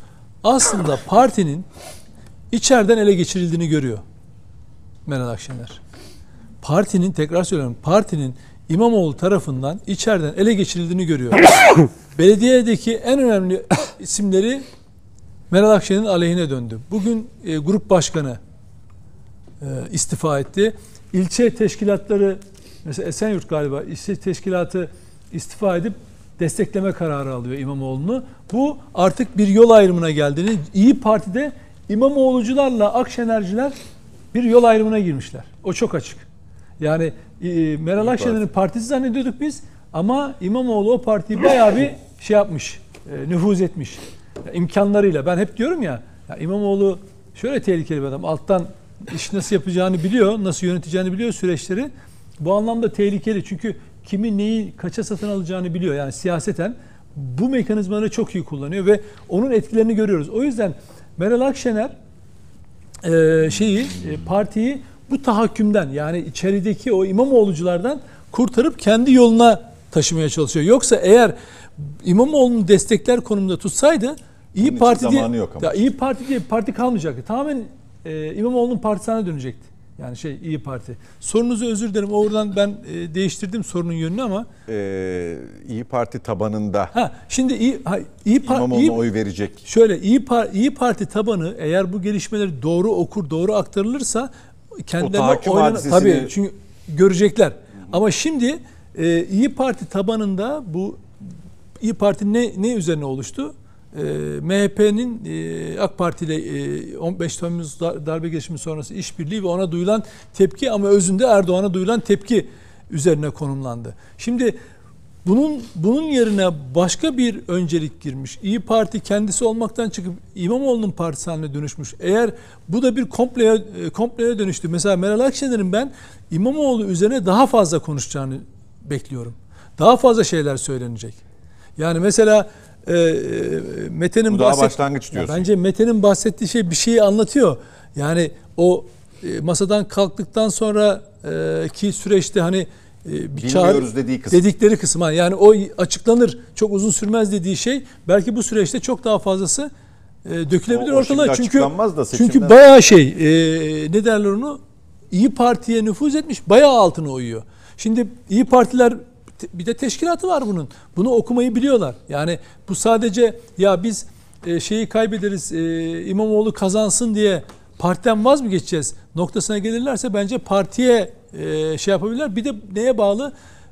Buğra Kavuncu'nun performansına. Yani bu Buğra Kavuncu kendisinin talip olduğunu söylemişti belediye başkan adayları için. Ama o talip olmaya layık bir kampanya yürütüp e, İmamoğlu'yla ve diğer rakipleriyle yani Murat Kurum'la falan e, etkili bir mücadeleye girerse kitlesini tekrar konsolide edebilir.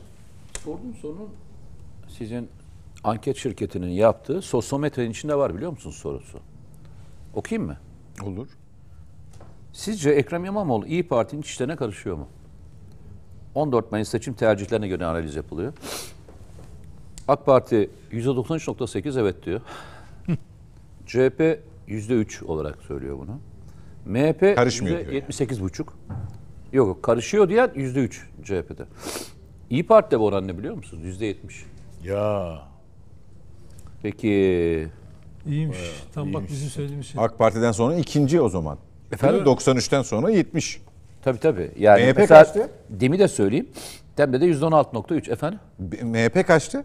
E, MHP %78,5. Ha MHP'ymiş iki evet.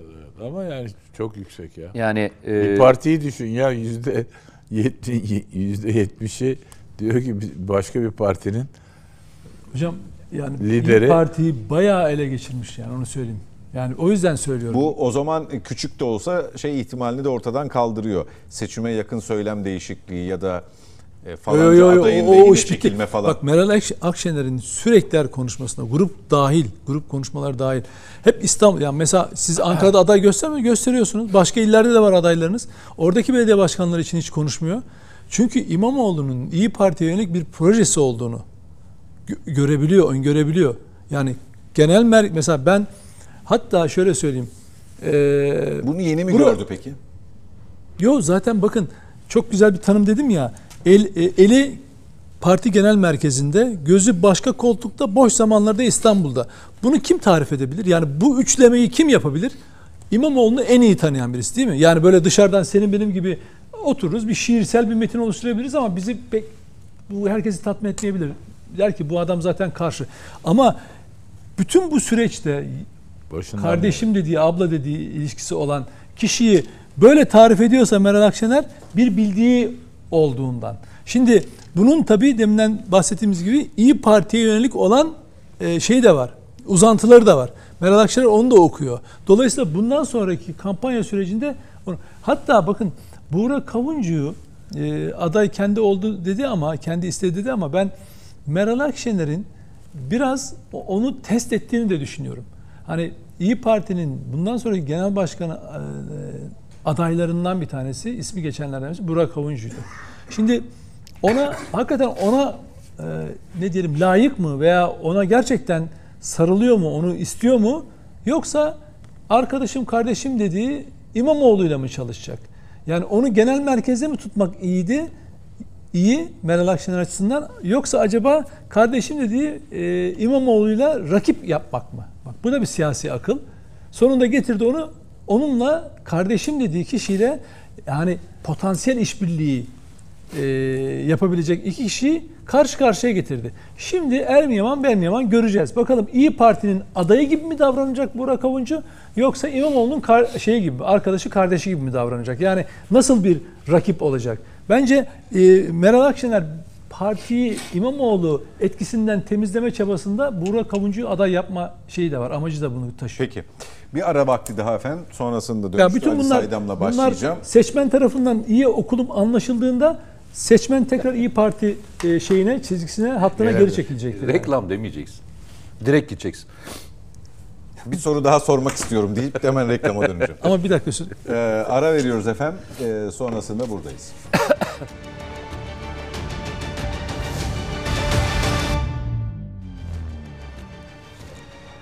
Yeniden birlikteyiz efendim. Önceden televizyon maçlarda söylerlerdi. Radyodan dinlediğimiz dönemde maçları. Birlikte olmadığımız süre zarfında diye işte biz de burada programa devam ediyoruz siz reklamları izlerken. 3-0. Neler konuşuyoruz Şu neler. 3-0. Bilemezsiniz evet. Evet. Ee, Böyle bir parmak bal çalıp seyircilerimizin ağzına e, böyle derhal e, ciddi konulara geçip bütün espriyi yok etmenizi de şiddetle kınadığımı ifade etmek istiyorum. Seyircimizin Ha- vicdanına Hangi espriyi? aramızda yapılmış olan bütün esprileri hocam keşke yayın mesela öyle olsa diyorum. Daha çok yapalım. Gerçekten ne dediğinizi ben anlamadım biliyor musun? Gerçekten ne dedi? Gerçekten ne dedi usta? virgülsüz ve noktasız konuştuğu için televizyonda televizyonda ne dediği anlaşılmıyor. O kadar çok insandan Hayır, bahsettik ki. ben- hayır şeyi anlamıyorum. Hayır şeyi anlamadım. Kime ne için itiraz ettin abi onu anlamadım.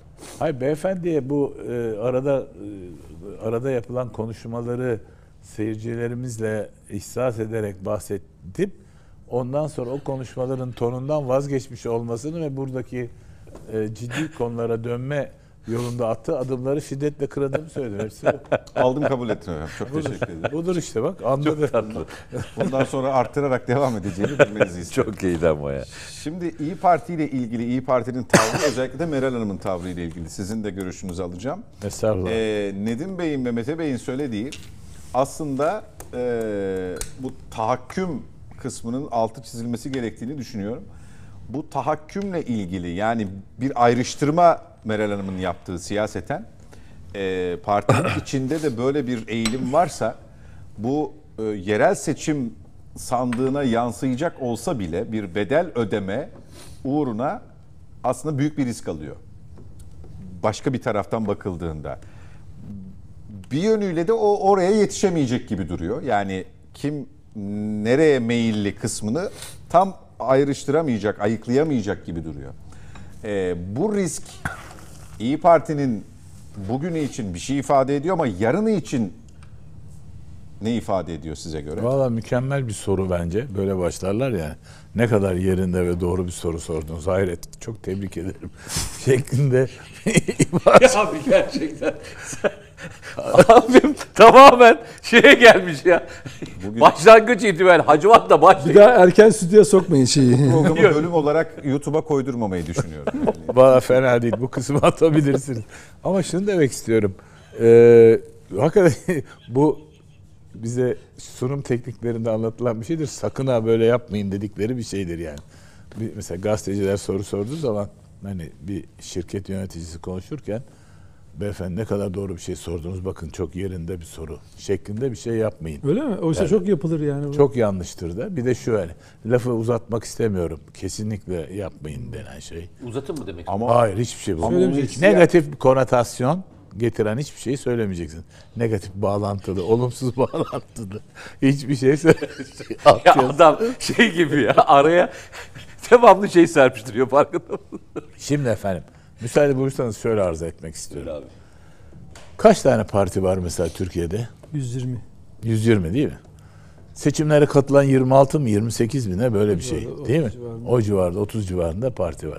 Niye bunlar ondan sonra hiçbirinin adını bilmiyoruz sonra da 5 sene 10 sene sonra hiçbirinin adını bilmeyeceğiz. Hangilerinin adını bilmeye devam edeceğiz ve hangilerini bilmeyeceğiz? 10 sene 20 sene sonra yok olacaklar. Hani tabela partisi denen partiler bile olamayacaklar. Neden? Çok basit bir ifade edersek eninde sonunda belirleyen şey mefkure. Mefkure, efendim bildiğiniz gibi fikir. Ee, Abi bilmiyoruz ya. Yemin ediyorum. Ya. Çok zorlama ya. Şunun özünü söylesene ya. Gerçekten ya. nasıl bilmiyorsun ya? Mefkure, tefekkür, efkar, efkar. hepsi bir aynı kökenden geliyor, fikirden geliyor efendim. Bunlar Arapça kökenli olursa zaten fiilden türer. evet, bunlar düşünce e, bunların düşünceleri yok, düşünceden yoksun. Yani bir Fikriyat. fikriyattan yoksun. Temeli yok. Bir şeyi yok. Şimdi böyle olduğun zaman silinip gidiyorsun. Ancak milli iradeye bir halkın ciddi bir kesiminin e, ihtiyaç ve taleplerine cevap veriyorsan hem e, maddi hem de manevi açıdan iki açıdan da ihtiyaç ve taleplerine cevap veriyorsan ve belli bir temel ideolojiye oturduysan yaşama kabiliyetin var. Şimdi Cumhuriyet Halk Partisi 2010'da kırılma yılı, kırılmasından söz ederken bundan bahsediyoruz değil mi? Adamın mefkuresinde problem başlıyor. Orası kırılıyor yani. Değerleri beyefendinin ifade ettiği gibi gevşiyor ve yok oluyor. O yüzden de çözülüyor. Şimdi geliyorum şeye. İyi Parti'ye. Ya İyi Parti'nin mefkuresi ne ya? MHP taklidi veya MHP'nin bir neden ayrıldığı da çok basit bir şekilde ifade edilen böyle bir ideoloji, fikir, bilmem ne sonucu ortaya büyük analizler konarak yapılmış bir ayrılma da değil yani MHP'den ayrılırken. Taktik O- bir ayrılma. Taktik, evet bravo stratejik bile değil. Taktik bir ayrılık. E şimdi bunun yaşaması uzun vadede zaten mümkün olmayan bir durum. Bu işi buradan bakarsak şimdi ondan sonrası lafı güzel. Var olmak için işte ona sataşıyor, buna bilmem ne yapıyor. Aman alttaki adamları koruyayım, berikileri dışarı atayım. Ötekini de işbirliği yapayım, berikini bilmem ne yapayım. Bu nedenle e, şeyin MHP öyle değil. MHP işte tam demin ifade ettiğimiz gibi ülke ocaklarıyla, ülkücü e, ideolojiye dayalı bir e, milliyetçilik zaman zaman içinde Atatürk milliyetçiliği gibi kavramlardan da bahsedilen daha çok işte dönüp Ziya Gökalp'e efendim Nihal Atsız'a falan dayalı bizim de çocukluğumuzda işte okuduğumuz romanlar, kitaplardan da kaynaklanan işte bozkurtlar, bozkurtların gelişi, direnişi, şu su bu su. Böyle bir temel ideolojiye dayalı bir parti MHP. Zaten her konuşmasında da duyuyorsun bunu. Hissettiriyor sana Devlet Bahçeli. Aynı şekilde Sayın Cumhurbaşkanı dünyaya şamil olmuş bir ideoloji yapı kurmuş. Değil mi? Yani milli bağımsızlık, işte dünya beşten büyüktür. Efendim sık sık tekrarladı. Efendim e, haksızlığa uğramış, mağdur olmuş, mazlum ulusların yanında yer alan falan böyle bir yapı, bir ideoloji, bir anlayış. Şimdi burada İyi Parti'nin nereden tutsanız elinde kalan hiçbir ideolojik efkarı umumiye de e, e, hedef alan, kendi fikriyatını doğrusu ortaya koyamayan bir yapı. Şimdi bu bir süre daha yaşayacak suni teneffüste gördüğümüz kadarıyla. Ondan sonra işte e, dedim kaç tane vardı? 130 tane mi vardı? 120. 120. 120 tane partiden biri olarak tarihin yaprakları arasında yok olup gidecek efendim. CHP'ci mi söylüyorsun? Hayır İyi Parti için İyi söylüyorum. Parti için. CHP ya eski habire konuşuyorlar ya fabrika ayarlarına ya dönecek. Altı oka altı oka çok zor artık bundan sonra. Öyle bir sarstılar ki temellerini. Ya aslında o- öyle bir yıktılar O ki. kısmı da kolay da e, öyle bir e, ışık belirmiş değil. En kötüsü daha karanlık günler Eyvallah. ileride Yüzde yüz. bekliyor. E, sizin bahsettiğiniz şey bir ara çok, çok konuştuğumuz konulardan biriydi de e, yani değer, ve Türkiye'de ideoloji değil de siyaset değerler üzerine, bu toplumsal değerler üzerine yürütülüyor. Muhafazakarlık, işte Bravo. Atatürkçülük, ulusalcılık, e, milliyetçilik e, Doğru. gibi kavramlar üzerinden ilerliyor ve bunun etrafında e, partiler ve bunları temsil eden bazı ana partiler var. Yine buna ya- yaklaşık partiler falan var.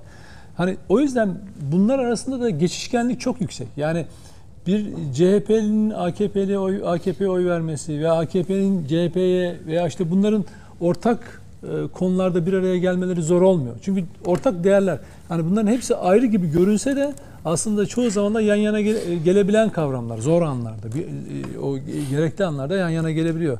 Dolayısıyla İyi Parti dediğiniz gibi burada ben hep şunu söyledim. Dönecek mutlaka şeye e, ocağa. Yani MHP'ye dönecek. Onun yeri orası. Hatta Tabii Yavuz. Ağrıoğlu demişti ya bu milliyetçilerin birbirini boğazladığı son seçimdir diye. E, yani aslında iş oraya doğru gidiyor. Biraz gidiyor. Biraz daha Meral Akşener konuşsa hani parti kod, kuruluş kodlarına ilişkin e, söylemlerini geliştirse ya bakacak insan ya biz Devlet Bahçeli konuşuyor sanki. Eyvallah. E biz niye burada dışarıdayız? O yüzden e, ya e, mesela e, son seçimde MHP'nin oylarının artması bence kimseyi şaşırtmasın. Tabii. Şaşırtmadı da zaten. Yani bu son seçimde %10'da geçti ya. Hani daha az alır, yedilerde kalır falan denirken e, onu geçti. Dolayısıyla e, İyi Parti'nin tabanının bir süre sonra MHP'ye geçebileceğini öngörebiliriz yani burada. Eyvallah. Budur efendim. Arz ederiz. Söz verince de böyle işte. Bir şey istemişsin onu hazırlıyor arkadaşlar. ben e, Hazır olunca verelim. Hayır şunun için sordum. Üzerine konuşacaksan. konuşacağım çünkü şöyle ben bu hafta daha doğrusu şöyle hoşuma giden taraf şu. E, Nedim'le de mesela e, işte geçen deprem e, döneminde de e, gittiğimizde geziyorsun.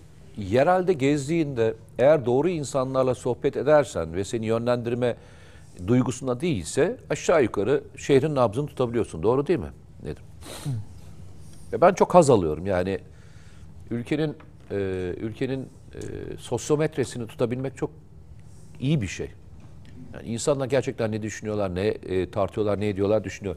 Demin sevgili e, büyüğüm söylerken aklıma geldiği için onu. Estağfurullah. Ee, Ali abi şey dedi. Hani bir müddet sonra tabela partisi olacaklar. Niye tabela partisi olacaklar? Çünkü temel değerler ve e, ideolojilerden yoksun olmanın Evet. günlük hesaplar üzerine kurgulandığında e, eğer lider üzerine inşa edilmişse sonra zorlanıyorlar. Doğru mu? Doğru.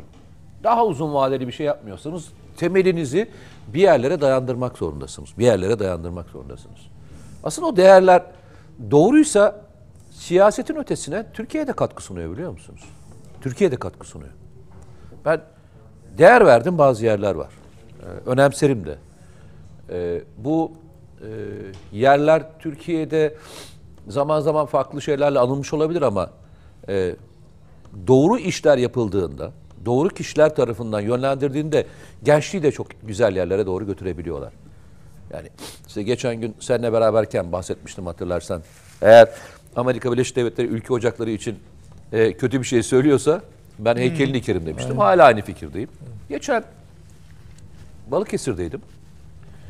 Balıkesir'e de gezerken sağ olsun Yücel Başkan'la beraber gezerken masamıza şey geldi. E, Balıkesir'deki ülke ocakları başkanı da geldi. Beraber oturup sohbet ederken bana bir kitap e, gösterdi. Ve ben üzüldüm açıkçası. Şunun için üzüldüm. Yani biz Türkiye'de değer üreten e, milliyetçi çocukları bile tanımıyoruz. Ya ne yaptıklarını bile bilmiyoruz biliyor musun? Ben kendi adıma üzüldüm mesela. Hani çok gezerim, çok e, bakarım diye düşündüğüm şeylerin hiçbirini anlamadım. Yaptığı faaliyetleri anlattılar bana. Şok geçirdim ya. Gerçekten şok geçirdim biliyor musun? Ya, dijital ortam kurmuşlar abi. İnsanlara üniversiteye hazırlıyorlar. Dijital ortamda. Hızlı okuma dahil olmak üzere birçok e, bölümler yapmışlar. Ve bir tane de çok güzel bir kitap hediye ettiler bana. İşte demin attığım fotoğraf o fotoğraftı. 16 Türk Devleti'ne, Devleti'nin. 16 Türk Devleti'nin yolculuk diye çocuklar için bir kitap hazırlamışlar ve basmışlar. bir zaman yolculuğu yapan bir çocuğun 16 Türk Devleti'ne giderek oradaki e, şeyi anlatıyor. Şimdi değerlerimizden bahsediyoruz ya. Bunu şey mi? Balıkesir Ülke Ocakları Yok. mı yapmış? Ülke Merkez ocakları. Merkezi. Hayır, Genel- ülke ocakları genel merkez yapıyor. Bana da orada sağ olsun ülke ocakları Balıkesir başkanı gelip anlattı, yaptığını anlattı. Dedim ki bakın arkadaşlar doğru yoldasınız. Doğru yoldasınız. Kitap basmak, geçmişi hatırlatmak, değer oluşturabilmek bence önemli, siyaseten çok önemli. Siyasi partilerde siyasi partilerin içinde önemli. Hani diyoruz ya kulüpler nasıl e, doğru yönden mi gidebilir? Altyapı oluşturur değil mi? Doğru. Peki altyapı oluşturacağınız yeriniz neresi sizin? Tabii tabii gençlik. Yani MHP diyorsanız ülke ocakları dersiniz. Büyük Birlik Partisi diyorsanız Alperen Ocakları dersiniz değil mi? İşte CHP'nin kendi tabanı var ona göre. İşte ne diyeyim eee, Vatan Partisi'nin kendi tabanı var. Yani tabandaki gençlerimizle değerlerimizi oluşturduğumuzda bizim yukarı doğru geldiğimizde o değer çözülmesinden de e, uzaklaşacağız. Yani bizim en büyük değerimiz ne aslında? Ulus devlet değil mi abi? Tabii canım. Ama son dönemde en çok yıpratılmaya çalışan ne? Orası. Ulus devlet. Şimdi düşünsene İstanbul'la ilgili seçim konuşurken İstanbul'da kimlerin yaşadığı söyleniyor. Ya arkadaş İstanbul'da e, geçen gün farkındaysan şey yazılmış. İstanbul'da hangi şehirden gelenler daha çok yaşıyor diye. Abi neredeyse İstanbul'da İstanbul yok. Yani herkes başka şehirden gelmiş ve İstanbul oluşturmuş. Kitap bu İstanbul, değil mi? Evet evet bu kitap. Yani e, alabiliyorsanız almanızı tavsiye ederim. Sanırım satılıyor e, yerlerde de. Yo, internette de var evet. İnternette de var. Almanızı tavsiye ederim. Çok hoşuma gitti. Kaç yaşına kadar ya gençliği? E, sanırım 4, e, 4 ile 7 galiba dediler. Öyle dediler. E, 4 ile 7 yaşında dediler. Çocuklara şey, Hediye etmek için ideal ya. valla helal olsun dedim. Toruna- Böyle eser oluşturan her yeri anlatmayı da seviyorum. Yanlış anlama araya böyle bir reklam gibi koydum. Ama iyi yapılan insanlar, iyi yapan şeyleri söylemek zorundayız arkadaşlar. O kadar şeye gidiyor ki olaylar. Hani hep kötü konuşuyoruz, hep kötü konuşuyoruz ya. Değer oluşturan her şeyi söylemekte yarar var diye düşünüyorum. Kesinlikle. Çok teşekkür ederim bu arada bu fırsatı bana verdiğin için. Estağfurullah reklamın hepsi bu olsun keşke. Bu kadar abi. Bu ihtiyacımız olan çünkü. Tabii tabii. Yani e, Ben toruna ne hediye alacağım diye düşünüyordum. Bak hallettik. bu bu yolculuktan bu yolculuktan bir haber olduğumuz ya da bir kısmına vakıf olup büyük bir kısmını es geçtiğimiz için başımıza bunlar geliyor. Doğrudur. Yani biz onu 16 Türk Devleti dediğinde ilk akla gelen şudur. Force. Eminim ki. Force. O kadar. Sonra Sayın Cumhurbaşkanı'nın göreve geldikten itibaren değil mi? 16 Karşılamada kullandı. Temsilen kullandığı asker. Ne oluyor? Nereden çıktı bunlar? Şimdi bilmezsen böyle yorumlara maruz bırakırsın. Ee, bu, bu o devletleri temsilen oraya konmuş askerlerin üstelik üniformalarıyla birlikte yer almasını halen daha zannediyorum şey oluyor böyle belli bir törenlerde. Devam ediyor.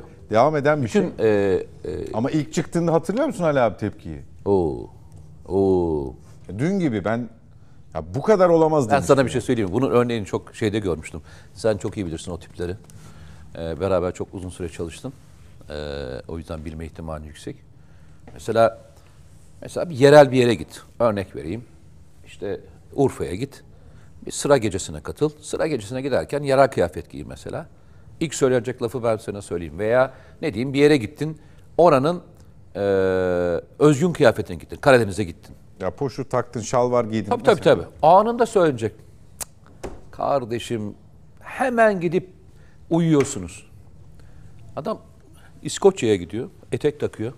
Şöyle söylüyor. İlk söylediği şey biliyor musun? İnsanların milli değerlerine ve kıyafetlerine bu kadar önem vermelerini çok saygıyla karşılıyor. Bak espri yapmam bunu söyleyen adam başka bir yerdeki yazısını hatırlıyorum ben. Ya ne kadar ağır ithamlarda bulunmuştu biliyor musunuz? İşte senin hatırlattığın hikayede o. Hani o Türk kıyafetleri ve diğerleri. Kardeşim hangi devirde yaşıyorsunuz? Hala bu tür kıyafetlerle insanlar mı karşılanır? Ama İskoçya'da o gaydayla beraber yürüme, o kıyafetler olduğunda şey söylüyor. Helal olsun adamlar şey veya İngiliz kraliyetinin hala e, o muhafız alayının kıyafetlerini kurulduğu günden beri aynı olması, değişmemesi. Adam orada diyor ki bir ulus e, geçmişe sadakat, sadakatiyle e, gidebilir. E bize olunca niye abi biz gerici oluyoruz? Kılığımızda, kıyafetimizde, Onu- onu diye- örfümüzde, töremizde. Ben hatırladım onu diyen bir iş adamı var, ünlü bir iş adamı. Kendisi de İskoç kıyafeti giyiyor. Öyle mi? Tabii tabii. Ben onu bilmiyorum. abi. Evde de mi? Hayır bir, bir davette, hayır da bir davette Evde sürekli- eteklik giyip O başka o bir şey. İskoç kıyafetiyle misafirlerini karşıladığını İskoç fotoğraf. kendisi? Hayır değil Türk ya aslanlar gibi. Niye İskoç eteği giyiyor abi? İşte değişiklik, orijinalite. Ha, okey. Abi sizin de nasıl bir çevreniz var? Ben ben hiç İskoç eteğiyle karş... Hayır ben bir şey. Hiç İskoç galiba. eteğiyle karşılanan bir davete gittin mi sen? Eve girmem. Gerçekten. Adam ben öyle karşısa girmem yani. Ay ne kadar şeysiniz ya, katısınız. Panel. Hayır panel değil. Öyle arkadaşlarımız yok. Belki gireceğiz. Efendim, Belki gireceğiz abi. bunu- Yok öyle arkadaşlarımız. Biz de bunu gazetelerde, dergilerde gördük. Bizi davet etmiyorlar öyle yerlere merak etme. Şöyle bir şey Güzel arz edebilir miyiz? güzel Bu konu çok önemli İşte bir bu nokta işi bu. öğren biraz. Kıyafet mi? Bu konu bu yayınlarda belki beşinci defa falan söylüyor olabilirim ama tekrarda fayda vardır. Anlamadığınızda görüyorum tekrar etmekte zor şey. Ben hiç görmüyorum diye. Bal, şey, bal bal bakıyorsunuz bana diye. Atatürk'ün bana sorarsanız en önemli tabii çok önemli lafı var da bu bu sizin bahsettiğiniz hususlarda çok önemli lafı var. Diyor ki devletin temeli milli kültürdür diyor. Çok doğru. Milli kültürün de temeli bildiğiniz gibi dil.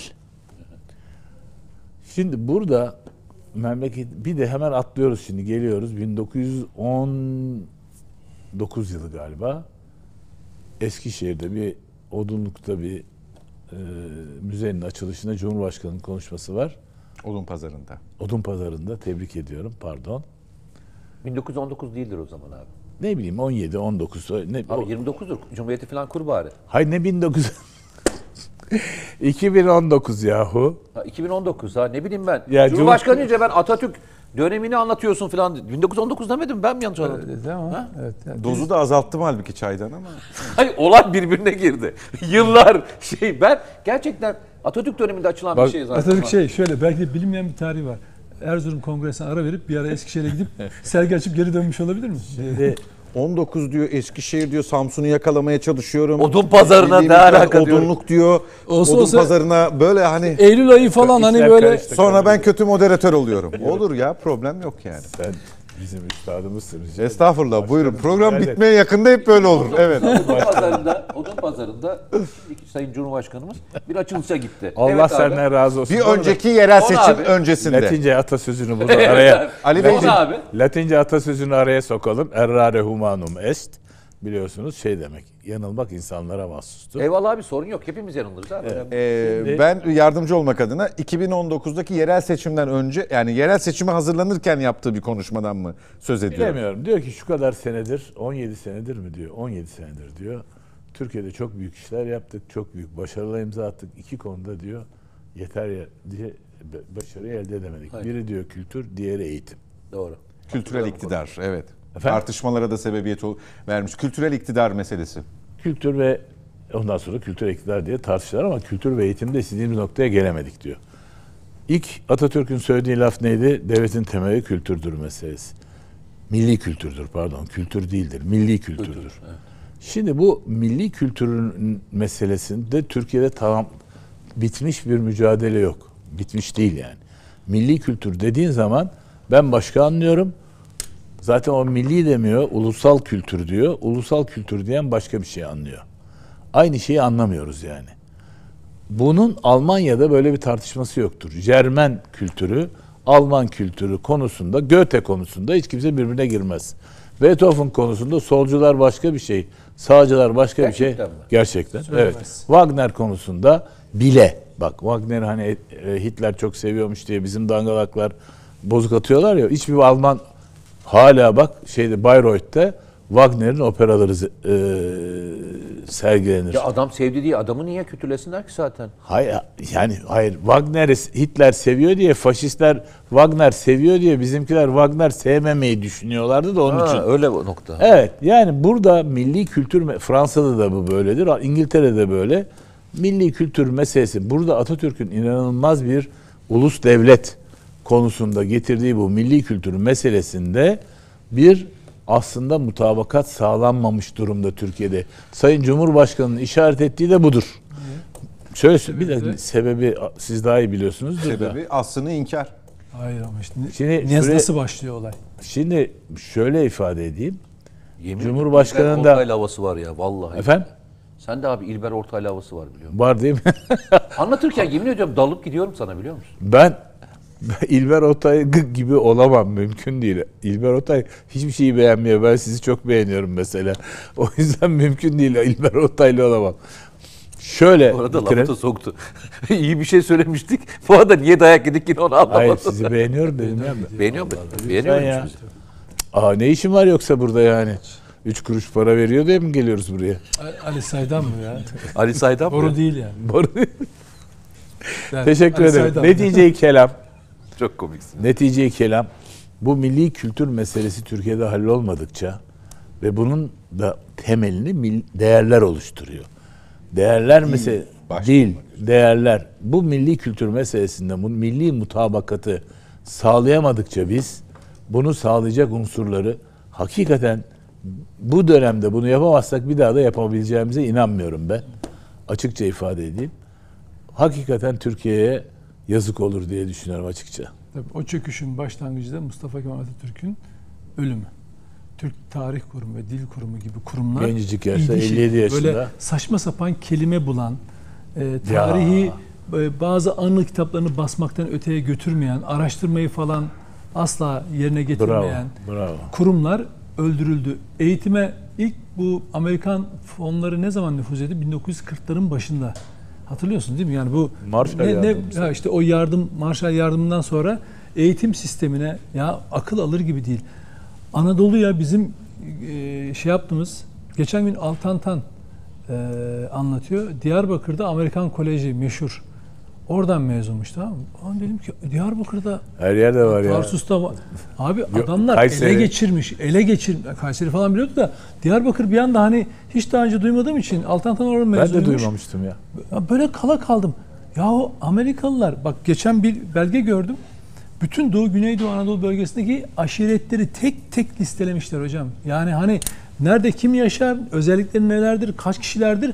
Adamlar o tarihte misyonerler Anadolu'yu yani affedersiniz böyle ele geçirmişler. Kültürel egemenliğini kaybetmiş. Kırklardan sonra tabii biz şimdi hem dedin tarihi unuttur. Eğitimi çorbaya çevir. Sonra onlar Dilini, olan tabii dilini mahvet. o tabii Şu anda şu anda future present future continuous kullanıyor. Geliyor olacağım, Evet. yapıyor olacağım, Evet, tuhaf. ge- e, söylüyor olacağım, Ya, gidiyor olacağım. O bak bir- o o sürecin 50'lere kadar da İngilizce 50 sonrasında söylüyor. devam eden milli bütün savunma sanayi olmak üzere Nuri Demiral'ların bitirilişi, Veci Tabii, Yurtkuşların tabii, bitirilişi, Şakir e, İhanet Zümrelerin bitirilişi tamamı Nuri Kilig'in öldürülüşü falan hep o süreçlerde milli olan ne varsa mesela yok etmişler. oysa ya işte milli şefimiz vardı mesela o tarihlerde. Sonra ne oldu? Sonraki yıllarda tam Amerikan güdümüne girdi 1950'lerden sonra. Hele ondan sonra da Amerika geldi darbesiyle 60'ta memlekete şeyini vurdu, mührünü vurdu. bir lokma bir lokma Sonra- kafasını kaldırdı Tabii, Menderes tabii. Falan hemen indirdiler. İkincisi de Turgut Özal. Turgut Özal da çok enteresan bir şekilde işte Makedonya'ya gidiyor. Oradan şeye gidiyor böyle bir bu bölgede bir birlik kurmaya falan anti emperyalist bir şeyler yapmaya çalışıyor. Menderes Rusya ile Sovyetler yani Birliği ile inisiyatifin dışına çıkan herkes Yok mutlaka edilmiş. yok ediliyor. Çünkü adam yani ne kadar önemli olduğunu şuradan anlıyorsunuz. Bugün güncel tartışmalarımıza baktığınız zaman mesela geçen şeyi düşünüyorum. Ben bir işte bu PKK ile ilgili bir çalışma yapıyorum da bir kitap hazırlayacağım işte yaza doğru. eyvah eyvah. Şimdi mesela açı şeye bakıyorsun bak PKK'ya silah bıraktırmak amacıyla şeyin Erdoğan'ın bir fikriyatı var. Ee, Şey de bunu görevlendiriyor. Hakan Fidan'ın da. Henüz daha Başbakanlık Müsteşarı, MİT Müsteşar Yardımcısı yeni olmuş. Ee, ha- Daha öncesi var aslında. Posta süreci falan mı? Ondan önce ondan önce ne yapmış? Ee, Habur girişimi tamam mı? Habur'da bir mahkemeler yoluyla PKK'yı bir şekilde etkisizleştirmeye çalışıyor siyaseten. Bak orada bu terse döndürülüyor. Başaramıyorsun. Abi 2009'da bu sefer 2010'da Oslo sürecini yapıyorsun. Diyorsun ki git bunlarla konuş. Silah bırakma konusunu gündemeleştirelim tamam gündeme alalım falan diyor. O da sızdırılıyor FETÖ'cüler tarafından. O da sızdırılıyor. Sonra 2013'te açılım diye tekrar gidiyorsun. Bak yine onun amacı da PKK'ya silah bıraktırma çabası tamam mı? Bütün bunların hepsi akamete uğratılıyor. Bak o da sonunda ne oldu mesela? PKK dağdan diyor ki biz silah bırakmayız. Bu böyle kendi kararı değil. Silahı kim veriyorsa eline o bıraktırır. Amerika verdiğine göre de o bıraktırır. Şimdi bugün mesela FETÖ ile ilgili meseleye geliyorsun abi. FETÖ, FETÖ nedir? Amerika'nın aparatı. Kimin aparatı? İsrail'in aparatı. Şimdi 2009'da Erdoğan İsrail ile kapıştıktan sonra, tamam One Minute olayından sonra nasıl kendisi bir anda devreye attı, devreye girdi. Dedi ki bir dakika işte İsrail e, şeydir, e, otoritedir, otoriteden izin almak lazımdır diye FETÖ elebaşı açıklama yaptı. Sonra bak ne oluyor? E, bu bu e, Mavi Marmara olayı 2010 yılının Mayıs'ında oluyor. Hemen akabinde bu açıklamayı yapıyor. Tam o anda FETÖ'cü e, polis e, İstanbul terörle da- mücadele eden Selam Tevhid operasyonu başlatıyor. Yani daha doğrusu gizli bir soruşturma başlatıyor. Selam Tevhid. Ne bunun içeriği? Hakan Fidan ve işte AKP'nin üst düzey yöneticileri hakkında bunlar İran ajanıdır. Kudüs ordusu elemanlarıdır gibi bir soruşturma başlatıyor. Bak sen bir şey yapmaya sonra 2012'deki MİT müsteşarı tutuklanma girişimine kadar o devam ediyor. O arada ne olmuş biliyor musun? Neler oluyor? Bütün o dinlemelerden elde edilen kayıtlar, bütün o e, ajan PKK'nın içindeki ajan yerleşme faaliyetleri hepsi akamete uğruyor. Listeler PKK'ların eline geçiyor ve o süreç Hakan Fidan'ın tutanma girişimiyle başka bir boyuta taşınmaya çalışıyor.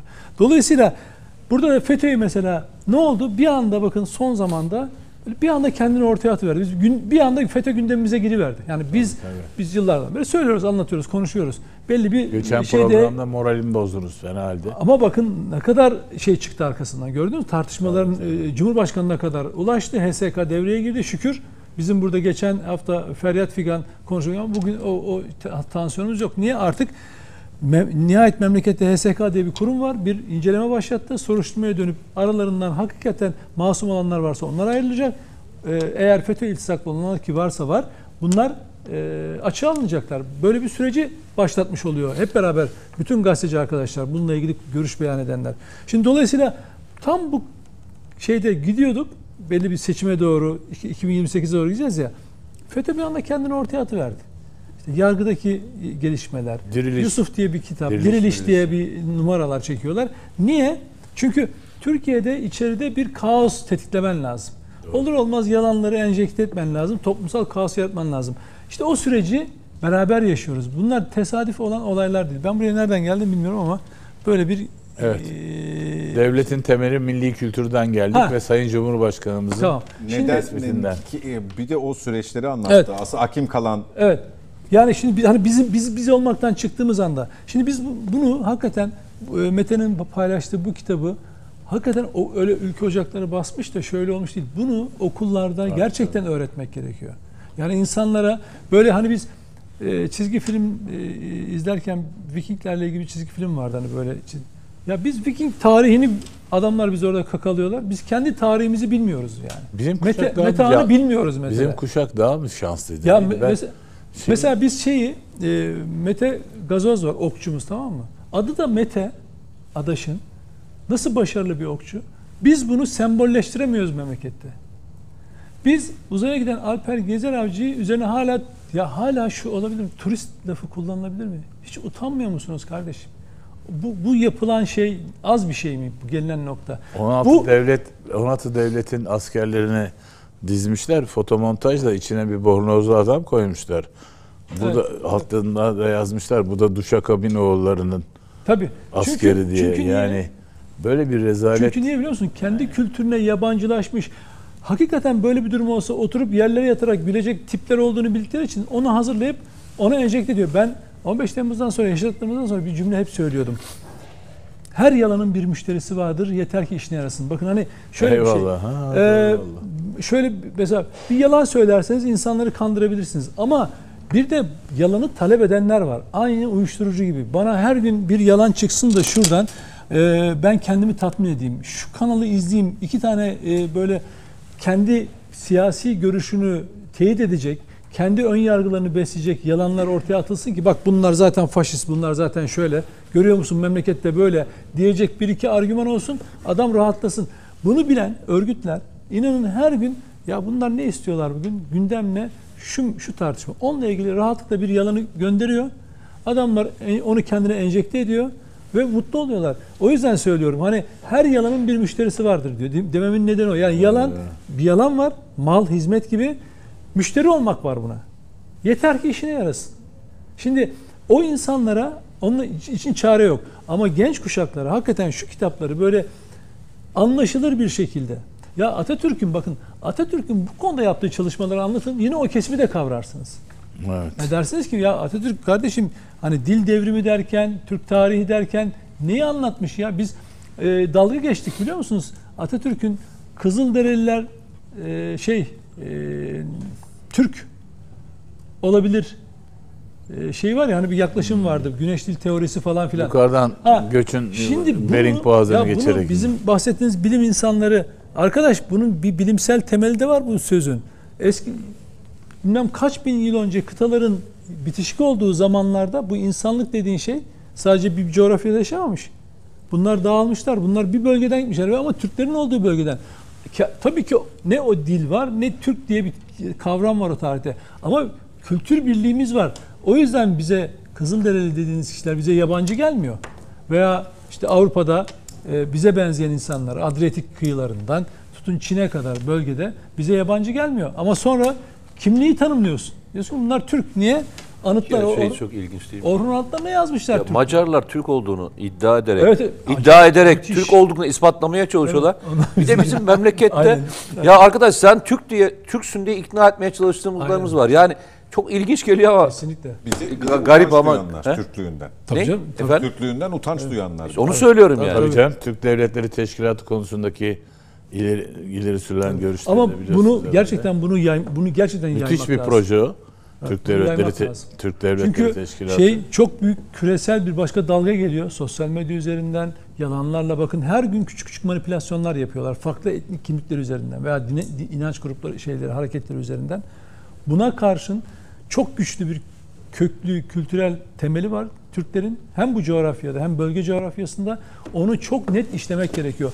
Dediniz ya mefkure. evet. Hocam. İşte o mefkureyi oluşturmak lazım. Yani hani sadece olay getirip de Ziya Gökalp değil, daha eskiye götürmek gerekiyor. Ziya Gökalp'in de beslendiği bir yer vardı ya. Doğru doğru. Onu taşımak gerekiyor Zaten bugüne. e, kitapta onlara tarihi yolculuğu yapan Ziya Gökalp. İşte. Zaman yolculuğu. Harika. Bak abi benim anlayamadığım bir şey daha var ya. Şimdi bu senin müthiş yaptığın tahlile bunu da yerleştirirsin diye düşünüyorum. Benim kuşağım, benim çocukluğum, gençliğim de değil yani. Milattan sonra 1950'ler. Bu o dönemde biz hakikaten Nihal Atsız'ın kitaplarını okuduk. Efendim Reşat Ekrem Koçu vardı onu Evet. okuduk. Yok efendim Suat Yalaz vardı mu- Evet. muhteşem çizerdi. Kara Murat. Ta, Tarkan Evet. mıydı? Yeşilçam'a da yansırdı. Yeşilçam'da Evet, evet. da Cüneyt Arkın'ın falan işte kahramanlıklar. Oynamaya çalışırdı onlar. Battal Gazi geliyor falan. Bravo. Oynadığımızda böyle. Sizi, siz daha o kuşak daha annenizin e, Yolculuk yaparken efendim denk geliyor geriye doğru. vitamininde e, şey değildiniz daha hücre. O nedenle böyleydi. Şimdi ne oldu abi? Şimdi bakın e, enteresan bir şey. Son dönemin en çok izlenen filmleriyle bir şekilde baktım, ilgileniyorum. Türkiye'de en çok en çok izlenen filmler hangisi? Birinci sırada Recep İvedik. İkinci sırada şimdi geldi Lousa yerleşti. Efendim ondan sonra işte şey çok iyi gidiyormuş. Fenerbahçe şey e, orada neyse hiç olmazsa bir milliyetçi bir şey var gibi geliyor bana öyle hissediyorum yani. Emperyal güçlerin futbol takımlarına karşı Fenerbahçe'nin oynayıp kazandığı Aslında yakın tarihin e, futbol üzerinden anlatıldığı. hiç olmazsa, hiç olmazsa yani ben e, övünmek gibi olmasın Fenerbahçeli değilim. O nedenle ama buna rağmen Allah başka keder vermesin. böyle filmler yapılmasında Ama çok şey büyük yarar mesela var. bizim TRT'de e, oynayan diziler var. Diriliş Ertuğrul. Harika. Bravo. Size yemin ediyorum e, Latin Amerika'da deli gibi izliyorlar. O Eyvallah. Maduro burada gel Maduro e, şapkasını giydi. işte pozlar verdi ya. Sefede gitti hatırlıyorsunuz. Bütün o bölgede inanılmaz izleniyor. Yani belki bizden daha fazla. Çünkü onlar şimdi bir şey Hayır, işin ama ilginç tarafı ne biliyor musun? adamlar Türk biliyor musunuz? Adamlar çünkü oradaki liderler ne diyor? El Turco. Türk Hayır, başka bir şeydi Arjantin'in başkanı. Biliyorsun orada Haçlılarla mücadele ediyorlar şey. Yani Yani bizimkiler hep orada Bizanslarla filan. Ama orada da orası da Hristiyan e, Evet, çoğunluğu. onlar bizi tutuyor. Bizi tutuyorlar. İlginç Tabii. olan şey ne biliyor musun? Tabii. Çok ilginç ya. çok teşekkür ederim. Allah razı olsun. Çok teşekkür ederim. Hayır, geldik mi abi? Şey, Biz sizi çok seviyoruz. Afy- Afyon'a geldik mi diye. Ee, bir şey söyleyeceğim. Bu güzel sohbet için çok teşekkür ederim. Kend, size. Bizi hep çağırıyorsunuz ya buraya her hafta. Allah razı olsun. Tamam bir dahakine eşli mi oynarız? Yani. çok teşekkür ediyorum Ali fikir değil vallahi. Ee, Mete Yarar çok teşekkürler Nedim Bey. Önümüzdeki hafta yeni bir net bakışta yeniden TVNet ekranlarında olmayı umuyoruz efendim. İyi geceler, iyi istirahatler, hoşçakalın.